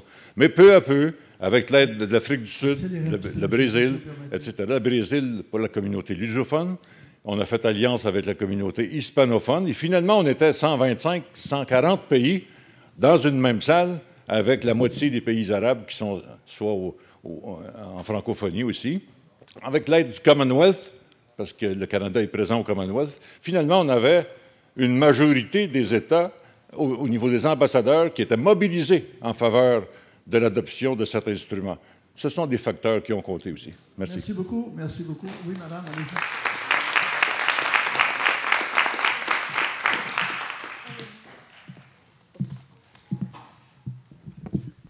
C'est beau? Ça va? Oui, madame. Je serai euh, je vais essayer de. Il y a beaucoup de choses à dire. Je vous comprends complètement. Il y a beaucoup de choses à dire et je vais essayer de m'en tenir à trois choses euh, avec une question incluse là-dedans. Moi, j'ai deux chapeaux. Quand je me présente devant vous, ça fait de nombreuses années que je suis à la disque. J'ai succédé, j'ai travaillé avec Robert et succédé à Robert. Euh, et euh, je suis aussi coprésidente de la coalition pour la diversité culturelle. Donc, la première chose, c'est vraiment mon chapeau de la coalition que je porte, euh, évidemment celui de la 10 toujours, euh, c'est évidemment je, prends votre interpellation du fait qu'il faudrait, il faut faire vivre, il faut gonfler la voile euh, de, la, Convention. Euh, les choses qui s'inscrivent dans la durée, c'est un autre défi, la durée. Je, comprends l'effervescence des signatures de la ratification. Je ne suis pas en train de dire que vous avez eu le bout facile, loin de là. Je pensais que c'était pas, pas ce que je veux dire, vraiment pas, mais c'est un autre défi, cette durée-là. Et, euh, et, c'est vrai, mais c'est vrai que euh, le sent, on le sent cette, cette mobilisation-là plus difficile, plus difficile. Ce qu'on aurait besoin, c'est une bataille des périodiques. On aurait besoin de quelque chose d'offensif de la part des Américains qui nous rentrent dedans, l'ennemi commun, on repart, on ressort, mais dans le fond, on veut pas ça. Hein? On veut pas ça, évidemment, mais ce serait bien pour la mobilisation. Il faut faire 100. Puis on est heureux de faire 100 quand même. Mais, euh, mais, mais, en même temps, quand on se réunit, les 32 associations, ce qu'on fait quelques fois par année, la mobilisation est là. Je vous avoue que moi, je l'ai senti, puis ça m'a fait plaisir quand le gouvernement fédéral nous a coupé notre subvention. Hein? Là, on a senti, c'est pas vrai qu'ils vont nous avoir. C'est pas vrai qu'ils vont nous avoir, on va continuer d'exister. Et ça, n'est-ce pas, ça a été très euh, rafraîchissant de, le sentir, de continuer à le sentir. Et c'est vrai que les gens étaient là, puis étaient prêts à faire beaucoup de choses. Euh, mais c'est clair aussi qu'avec la moitié de moyens, euh, on peut faire ce qu'on peut avec les personnes qu'on a. Je veux dire, le, défi du commerce, commerce-culture dans la Convention, c'est une chose. On demeure vigilant, ça prend déjà des énergies. Et tous les, toutes les, toutes les autres beaux objectifs de la Convention, il faudrait s'impliquer là-dedans. Et oui, ça donnerait, ce serait plus, on serait plus du côté de la promotion, ça ferait du bien, au lieu d'être sur le côté de la protection, de la côté de la promotion, mais on n'a pas les moyens. Et donc, je sais bien qu'il y a personne qui est décisif. Pas les moyens, c'était quoi, puis c'est quoi maintenant? on a les moyens de la, de, la, convention, de, la coalition? Pardon? Il y a cinq ans, c'était quoi les moyens? Aujourd'hui, aujourd'hui euh, le milieu met toujours aux alentours de 100 000 pour financer la coalition. Le gouvernement du Québec met 150, n'est-ce pas? Le gouvernement du Québec, l'ensemble des gouvernements, c'est 150. Donc, on a 250 000 Avant, le fédéral mettait 175, 100... On a déjà eu 625. Là, heureusement, il y a des gens, on a des amis, on a des amis de la, coalition, des, partenaires privés. Je pense que M. Turp est en, a été un, je ne sais pas si vous l'êtes encore, mais on a, créé une autre catégorie de membres individuels associés, et ça, ça nous génère à peu près 15 000 On est très, très, très heureux. Euh, Alain Simard nous donne de l'argent, euh, René Malo nous en a donné. Bon, mais, pardon? TFO. Alors, mais c'est ça, c'est ça, c'est les moyens qu'on a, 200 quelques mille dollars. Évidemment, euh, on, fait, déjà beaucoup avec ce qu'on a, mais ça déjà, a, on a le tiers. Alors, je vous dis juste, si vous avez apporté ce message-là de l'importance de maintenir une coalition, parce qu'on est le seul pays dans le monde à avoir une telle coalition dédiée 100 à, ce, à, ces objectifs-là, continuer à le porter, nous, on le fait, mais bon. Euh, mais la durée, c'est vrai que c'est un enjeu et ça nous préoccupe beaucoup. Les deux dernières choses que je veux dire, j'aimerais parler du numérique, parce que c'est évidemment, oui, c'est l'avenir et tout. Le numérique... Euh, Premièrement, je suis étonnée. Je suis toujours, je, suis étonnée, puis il euh, faut croire qu'il y a quelque chose que je ne comprends pas. Moi, pour moi, c'est clair que la Convention, telle qu'elle est rédigée, elle s'applique dans le numérique. Pour moi, la Convention, elle est technologiquement neutre. On n'a pas à modifier la Convention. Il faut il faut prendre les principes de la Convention et les appliquer dans le numérique au niveau national. Puis au niveau international, il y a des discussions qui se passent au niveau de, du droit d'auteur et autres. Mais moi, la Convention, là, je m'excuse, juriste, je ne suis pas une spécialiste dans ce secteur-là, mais j'ai lu des choses qu'on me disait, pas de problème, la Convention existe, après, chaque pays, faites ce que vous avez à faire. Maintenant, au niveau national, dans les choses qu'on a à faire, j'aimerais vous rassurer sur les, moyens qu'il y aurait de, prendre ce, secteur-là, puis de le mettre au service, justement, de la protection des, euh, des cultures nationales. Il y a des moyens. Pour moi, c'est tellement euh, drôle de penser que euh, c'est plus que, la technologie se développe, plus qu'elle est capable de venir nous chercher et de savoir tout ce qu'on fait dans notre vie, comment maintenant la même capacité est complètement, devient complètement nulle quand il s'agit de, de, mettre certains éléments pour protéger notre diversité. Je vous donne un exemple. Euh, j'ai parlé personnellement à M. Pandora ou M. Spotify et pour leur demander que dans, le, dans le, ici au Canada, est-ce que ce serait possible que dans votre offre de musique sur vos canaux, à toutes les fréquences, à toutes les 100 chansons, il y a un petit, dans votre algorithme, vous ajoutiez euh, la, la, pertinence de mettre une chanson canadienne. Est-ce que vous pourriez faire ça? Technologiquement, vous avez des centaines d'ingénieurs, 600 ingénieurs qui m'ont dit, qui travaillent là-dessus. Êtes-vous capable de faire ça? Bien sûr. C'est sûr qu'il est capable de faire ça. Il est capable de savoir ce dont j'ai besoin, moi, le dimanche matin, quand je fais mon jogging. La technologie nous permet plus de contrôler. Ça nous prend juste la volonté et de le faire. Et c'est possible de le faire. Alors, je pense que arrêtons de dire, selon moi, que maintenant, on a, euh, il n'y a plus de frontières. Il y en a des frontières. Il y a nos codes, il y a notre fil qui rentre dans notre maison. Ils savent, comment venir nous chercher dans notre maison avec, euh, avec notre connexion Internet. Ils savent que moi, je suis l'adresse IP, machin, machin, machin, au Canada. C'est parce que, parce gouvernement, les gouvernements actuels n'ont pas l'intention de, contraindre ces, compagnies-là de le faire. Parce que le monsieur le CRTC, qui nous a beaucoup déçus dans cette décision euh, euh, de TV, j'espère qu'il ne nous décevra pas dans sa prochaine révision de la politique radio sur les quotas, mais euh, c'est clair qu'il y a des capacités de le faire. C'est une volonté. Puis cette volonté-là, comme vous le dites si bien, elle ne vient pas beaucoup d'en haut, en tout cas au niveau fédéral. avec votre question. Vous aviez une question, non? Ben, je m'en rappelle plus.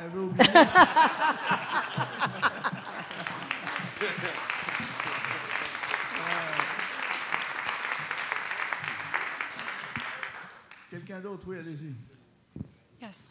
Hi, uh, my name is Sylvia Blake. I'm a PhD student at Simon Fraser University in Vancouver. Uh, firstly, I wanted to say thank you so much for being here. I have learned so much in the last hour and a half. Yeah, somewhere. Come closer to the microphone, please. Oh, sorry. Can you hear me better now? Yeah. Okay. Uh, yeah, it's it's really it's a special treat, and uh, I also very quickly want to say congratulations to all of you and the other architects in the room. Your baby is ten, um, mm-hmm. so that's that's pretty exciting, I think. Um, my question is uh, probably several of you could answer it. I'm thinking perhaps Ms. Copps might know the answer. Um, I'm interested in domestically, we've talked about it a little bit globally, but domestically in Canada, when did we start talking about diversity? When did it become diversity? Um, it strikes me that there are a number of different areas that we now talk about as constituting diversity, multiculturalism and, and, and program diversity and Canadian expression, but when did we start calling it that? Well, I, I hate to sound like Al Gore, who invented the internet, right? But we were struggling with this issue um, in terms of how we would position the international pitch. And I do believe um, the first time it was ever used was in a speech that I did give at UNESCO, which I think was in 1996 or 1997. I'm not exactly sure of the date. But what we were trying to do, and I think Louise said it best, was to create a word that was ambiguous enough to get more than one fil conducteur, as it were. And when we used to talk about multiculturalism, in Canada it's a sort of unique situation because you do have two official languages and two official cultures. Most countries only have one. And a lot of the concerns were about um, minority cultures in majority populations. So we were trying to figure out a way to, to thread that needle. And so somehow um, I gave a speech on cultural diversity. And I think Mayor took up uh, that um, idea. And when we had the first meeting of the French, Canada, Quebec roundtable, it was like a preparatory meeting discussion. Um, at that point, he actually called it on cultural diversity. That was like an invitation to come on and have a discussion about cultural diversity, which was the beginning of the whole process, and then we got the artists involved. It would have been 98, I think 98, anyway, somewhere around there. Yeah. Seulement une précision euh, que Mme Copps va comprendre, c'est que pour nous, au Québec, non seulement gouvernement séparatiste, là, comme nous étions euh, euh, dans le temps, mais pour euh, l'ensemble des gouvernements du Québec, le multiculturalisme canadien a aussi un autre sens, qui est celui de la politique du multiculturalisme que Pierre Trudeau a inclus dans la Constitution canadienne et que nous avons toujours interprété. Là, je vais parler pour moi, là, parce que je ne veux pas que tous les Québécois francophones qui sont ici pensent que je parle en leur nom, mais qui était une banalisation, finalement, comme ça que je le vivais, puis comme gouvernement on le vivait, de euh, cette présence, euh, disons, francophone, euh, particulièrement au Québec, puisque donc la majorité francophone du Canada, à 80 sinon bien davantage, se trouve ici. Donc, il y avait cette connotation-là de politique du multiculturalisme que Pierre Trudeau, dans une, constitution qui n'est toujours pas adoptée par le Québec, 1982, il constitutionnalise cette notion de multiculturalisme telle qu'entendue par Ottawa, et cette constitution de 82 s'applique au Québec, mais le Québec ne l'a jamais signée. Gouvernement libéraux comme gouvernement du Parti québécois. Ici, on préfère parler d'interculturalisme. S'il y a, disons, quelque chose qui peut être, je dirais, relativement consensuel, même si chacun peut mettre dans interculturalisme ce qui lui plaît, euh, c'est quand même un autre terme. J'ai déjà beaucoup scandalisé quand j'étais député de l'opposition il n'y a pas si longtemps, en disant en anglais, multiculturalism, c'est difficile déjà à dire, is not a Quebec value, it's a Canadian value, but it's not a Quebec one. Ça n'avait pas fait plaisir, mais c'est comme ça que moi je le ressentais et que je le disais. Alors, par conséquent, il y avait ça aussi. Oui. Non, mais pourquoi on ne voulait pas du mot multiculturalisme? C'est tout simplement pour ça que je le dis, pourquoi on voulait diversité culturelle. Je pense qu'il y, avait d'autres questions. Oui, monsieur. Monsieur Durivage, euh, moi je veux parler un peu d'avenir et, l'avenir de la diversité culturelle par opposition à l'exception culturelle. On a fait une grosse bataille là pour comme un peu se défaire de l'idée de l'exception culturelle. Je pense que Pierre ou, Robert vous l'avez dit tout à l'heure, parce qu'on voulait créer quelque chose de différent. Il y a l'ordre commercial international, puis il y a des traités commerciaux internationaux. Puis euh, pendant longtemps, la culture, c'était l'exception. Et là, on a créé la Convention. Puis on a enchâssé, oui, on a créé un ordre culturel international avec sa Convention. Puis on a mis un article 21 dont vous avez parlé qui cherchait à voir comment s'articuleraient les rapports entre le droit culturel puis le droit commercial. Alors ça, c'est ce qu'on a réussi en 2005. Là. Mais là, là, moi, ce qui m'inquiète, on en a parlé un peu ici, mais on ne veut pas trop en parler. Avec l'accord entre le Canada et l'Union européenne, on revient à l'exception culturelle. On revient à l'exception culturelle. Est-ce que c'est écrit, ça, quelque Ben oui, c'est écrit partout. C'est écrit partout parce que les négociateurs, puis c'était pas simple, ils sont venus nous l'expliquer, Pierre-Marc Johnson et, d'autres, puis il y en a qui prétendent que c'est très verrouillé avec plusieurs clauses d'exception culturelle à l'intérieur de cet accord. Mais je pense qu'on va se rendre compte, puis on va peut-être y travailler, les juristes, là, y compris euh, M. Bernier, qui a fait une intervention, je pense, euh, euh, très appréciée sur cette question-là, pour dire que c'est peut-être pas aussi verrouillé qu'on le pense, puis les exceptions culturelles de cet accord, c'est peut-être pas l'exemption culturelle ou la diversité culturelle que l'on veut. Puis je pense que ce qui est préoccupant, c'est ce que ça crée pour l'avenir immédiat. Là. Il y en a d'autres accords qui sont en négociation l'accord transpacifique avec les États-Unis. Puis vous, vous les connaissez comme moi, les Américains. Ils ne lâcheront pas le morceau. Ils n'acceptent pas cette convention. Ils ne l'ont pas ratifiée. Ils font des conventions bilatérales pour essayer de neutraliser la diversité culturelle. Et là, il y a une brèche avec cet accord Canada-Union européenne. Puis, je l'ai rappelé l'autre jour, là, cet accord-là, là, il n'est même pas encore signé. Il n'est même pas encore signé. Puis les Européens, ils veulent des changements sur le chapitre euh, sur l'investissement. Puis ils travaillent fort. Puis là, je crois comprendre que le Canada va peut-être euh, plier un peu. Puis donc, le texte n'est pas définitif. Alors, si on se rend compte, là, que ce n'est pas si verrouillé que ça, puis que là, on veut s'embarquer à nouveau dans l'exception culturelle, que ça va, ça va vraiment neutraliser tout le, succès du débat sur la diversité culturelle, on est mieux de ne pas prendre pour acquis là, que tout ce qu'on a fait dans les dernières dix années, c'est réussi, puis qu'il n'y a pas de danger. Alors, moi, je vous suggère qu'on soit plus vigilant que jamais lorsqu'il s'agit des questions de diversité culturelle, qu'on ne revienne pas à l'exception culturelle. Euh, ça, se passe de commentaires. Je pense qu'on est tous d'accord avec cette position-là dire que ce qu'on a toujours voulu, c'est créer un instrument juridique international qui a un poids suffisant pour pouvoir contrer les ententes de commerce international.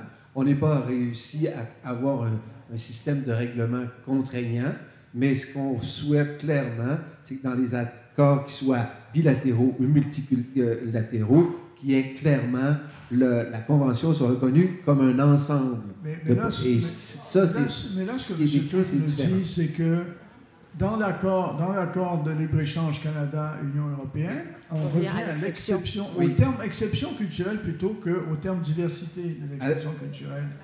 Il y a quelqu'un qui l'a poussé, ça, cette notion-là, plutôt. Il y a Absolument. Une dans le l'Allemagne, si tu Absolument. la France, c'est vrai. Qui l'a poussé, cette affaire-là, et pourquoi est-ce que le Canada ou euh, les autres pays ne l'ont pas retenu? Ah, c'est une question assez, assez complexe. Bon, d'abord, euh, excusez-moi, d'abord, euh, pas si simple que cela. D'après ce qu'on comprend, parce qu'il y a plusieurs experts qui sont exprimés sur l'opinion, certains disent que c'est fort, d'autres disent que c'est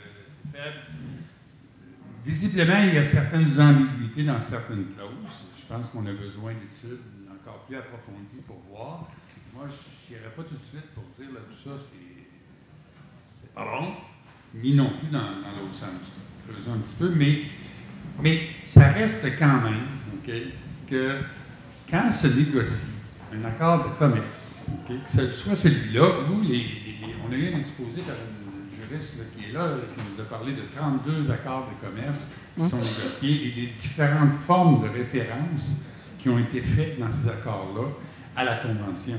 Certaines de ces références-là, j'ai bien compris l'exposé de la juriste, sont fortes, d'autres sont plus faibles. Et pour moi, là, c'est no surprise. Et si vous voulez une référence forte dans un accord de commerce international à la Convention de l'UNESCO, ben, il faut de la pression en arrière pour l'avoir, sinon vous ne l'avez pas. Bien, madame? Oui. Allez-y. Euh, D'abord, ce qu'on vient d'entendre vient nous montrer combien il est nécessaire qu'une vigilance se poursuive au niveau de la Convention. D'après ce qu'on a entendu, la grande question qui se pose, c'est elle viendra d'où cette vigilance et cette mobilisation?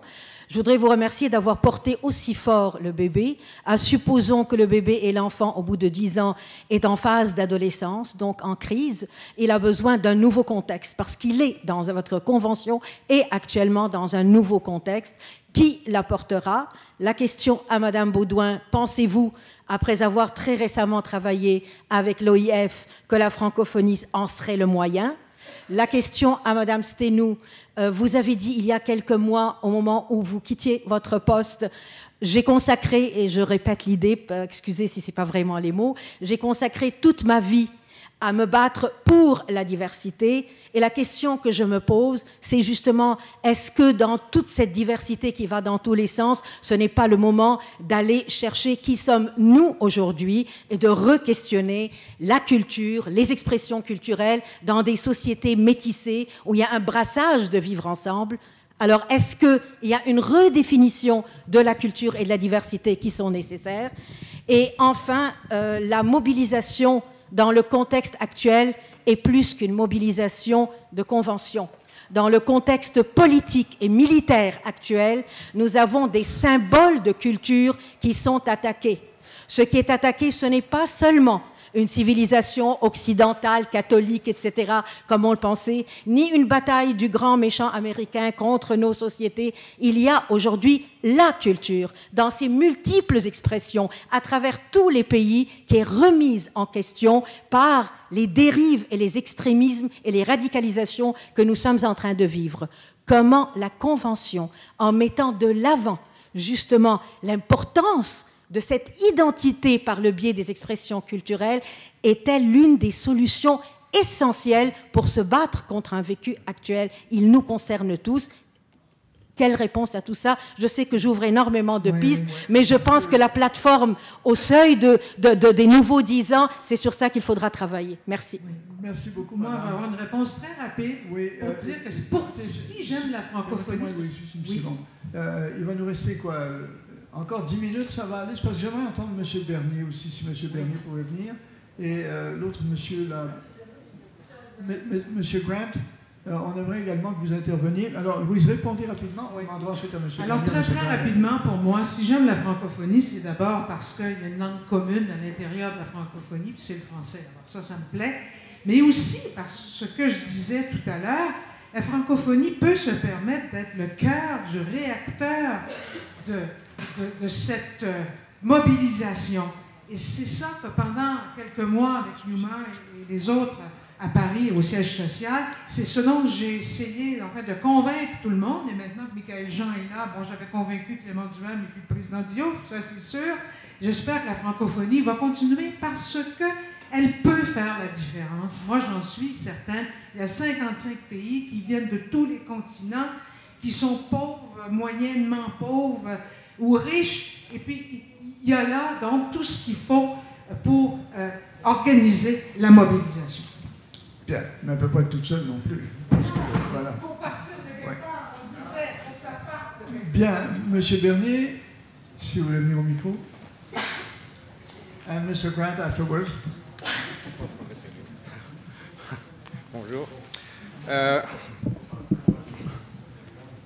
il s'est dit euh, beaucoup de choses dans les deux derniers jours et euh, je pense que euh, on a compris qu'il y a différentes tensions qui existent dans la mise en œuvre de la Convention. Il y a des tensions qui touchent la question de la relation entre le commerce et la culture.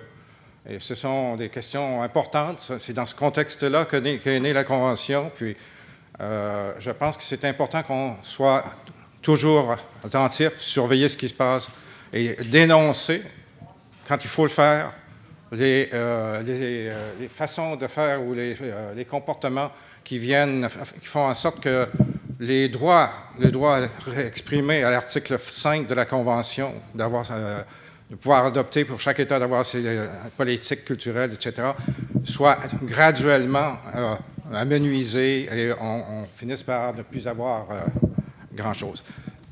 Dans le contexte actuel, c'est un contexte où tout est évolutif et au fur et à mesure qu'il y a des négociations, au fur et à mesure qu'il y a des choses qui se passent, on se retrouve avec des demandes contradictoires et à l'heure actuelle, sur la question culturelle, c'est certain qu'il y, il y, y a des raisons d'être craintif. Mais ce n'est pas ce n'est loin d'être toute la Convention. Le reste de la Convention, et c'est ça là que la chose est importante, c'est euh, de développer, de promouvoir la création euh, culturelle, de faire en sorte que euh, dans l'ensemble des pays du monde, il y ait des gens qui puissent s'exprimer culturellement, dire des choses culturellement. Et ça, c'est pas une petite chose à mes yeux. ce que je voulais dire en particulier ici, c'est que dans ces deux jours qui se sont passés, il y a eu un film hier qui a été euh, présenté, qui est à propos de Wiki, euh, euh, Mobile. moi, été ému quand j'ai vu ce film-là, puis je me suis dit, c'est ça la Convention. C'est comment une, femme est partie pratiquement seule avec un projet d'aller dans les communautés autochtones et de présenter, de développer, prendre contact avec les gens des communautés autochtones leur, euh, euh, euh, donner la possibilité de se familiariser avec les outils d'expression culturelle, surtout ceux du cinéma. Et éventuellement, avec ce projet-là, elle a réussi à permettre à des gens qui étaient vraiment en, en situation difficile de graduellement prendre confiance, s'identifier, au point que ils puissent être capables ensuite, avec leur firme, aller dans des compétitions internationales, d'avoir des prix sur le plan international et des choses comme ça. Pour moi, ça, ça veut dire beaucoup sur ce qu'on recherche avec une, convention. Je pense que dans la mise en œuvre de la convention ce stade-ci, il y a une chose qui, est importante et qui m'apparaît cruciale, euh, c'est la conviction. On doit avoir la conviction que ce qu'on fait est vraiment la bonne chose et qu'on doit toujours pousser dans la même direction. Alors, euh, de ce point de vue, euh, quand on parle de, la, promotion de la diversité culturelle, je pense qu'il y a aussi une tension entre deux choses. On parle parfois de la promotion des expressions culturelles et parfois on parle de la diversité culturelle. Et dans ces deux choses-là, ben, ce qui est la promotion, ce sont euh, des expressions culturelles au moment où l'on négociait, c'était les instruments, les façons d'exprimer, de s'exprimer culturellement, cinéma, livres, musique, etc. C'était surtout ça qui était à l'esprit. Mais euh, maintenant, ce qu'on voit, c'est qu'il y a une, autre tendance et on s'intéresse plus à l'aspect diversité culturelle. Et là, la dimension plus sociologique des choses, de la culture, commence à entrer en ligne de compte. Et, on se pose des questions sur euh, des communautés, euh, comment aller rejoindre euh, ici ou ailleurs dans les pays en développement. Comme dans les pays développés, il y a toujours des communautés euh, qui, ont des problèmes au niveau de leur expression culturelle. Alors, je pense que ça, c'est... parfois, on entend un discours qui semble plus sur les, moyens de s'exprimer, et parfois un discours qui est un peu plus sur la façon de rejoindre les gens dans leur communauté et de leur permettre d'avoir accès à la culture. Ça, c'est une autre chose. Mais ultimement, ce que je voudrais souligner, et ça, on aura fait allusion à ça, euh, il y a aussi ce contexte évolutif dans le monde, et on s'aperçoit maintenant que la culture est euh, menacée, sérieusement menacée dans un bon nombre de pays, et que euh, on, se demande qu'est-ce que la, la, Convention peut faire par rapport à ça. Mais moi, ma conviction, c'est ce que j'ai dit en terminant ma communication au tout début, euh, c'est que la Convention, dans son essence et dans ses principes, est un moyen de contrer, de lutter contre ces tendances. Et euh, donc, il faudrait maintenant de plus en plus avoir à l'esprit que la dimension euh, liberté d'expression, les, les, droits de la personne, la sécurité, toutes ces choses-là sont au cœur de la Convention et qu'elles peuvent apporter une réponse à une problématique actuelle. Merci.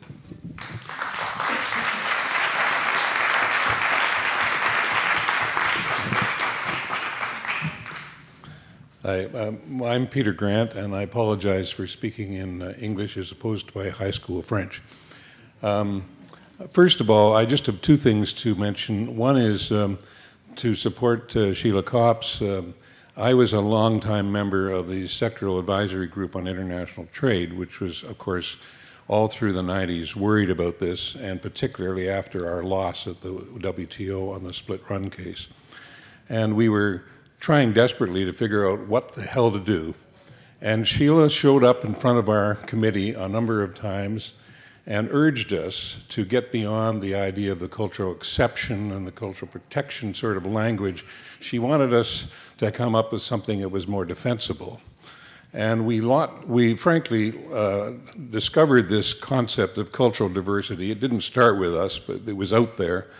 And uh, as you may know, in February 1999, the SAGIT published the first report calling for a legally binding convention and it was on cultural diversity. And that added that term into the rhetoric in respect to international trade and uh, a legally binding instrument. So it sort of, we like to think it started in a way in terms of what the concept would be with that report. And the uh, Canadian government adopted that report as its policy the following September. And of course, we've heard what happened since.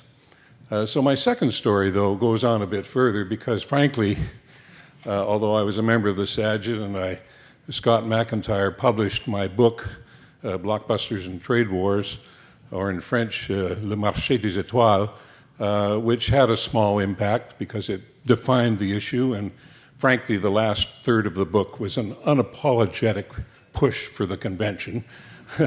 but it came out in 2004 and was circulated to UNESCO ambassadors, and I like to think it maybe had a small impact. But I didn't have much involvement since then. I wasn't in Paris when it was adopted. Of course, I was thrilled to hear the news. But I did hear a couple of years later a fascinating story about it.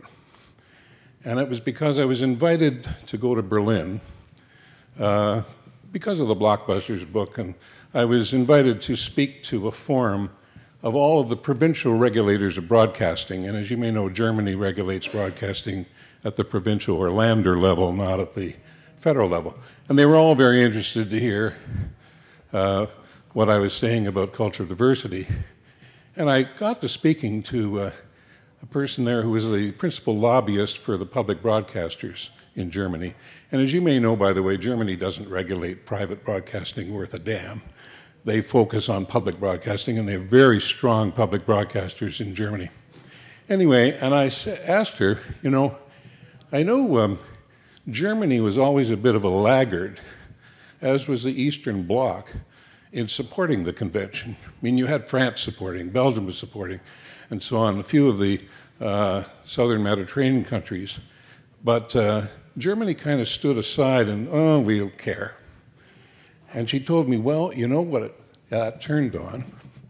It turns out that there was a 50th anniversary of an entente between France and Germany taking place.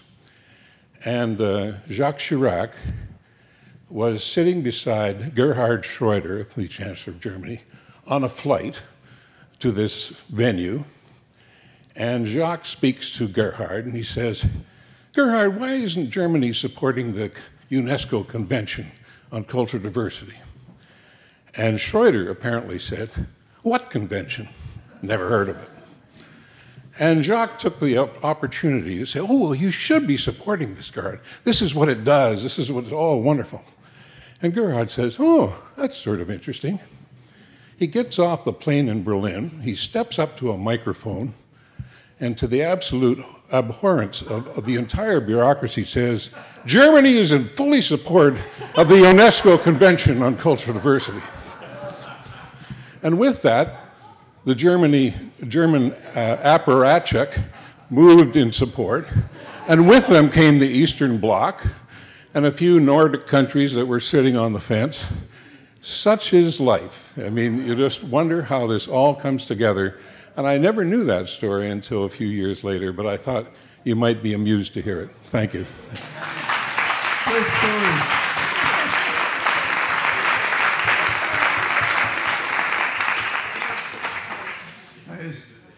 always, always talk to your neighbor on the plane. You never know. s'arrête là? Je pense qu'on va s'arrêter là, monsieur le modérateur Simon Duruage. Merci beaucoup. Merci, merci. merci.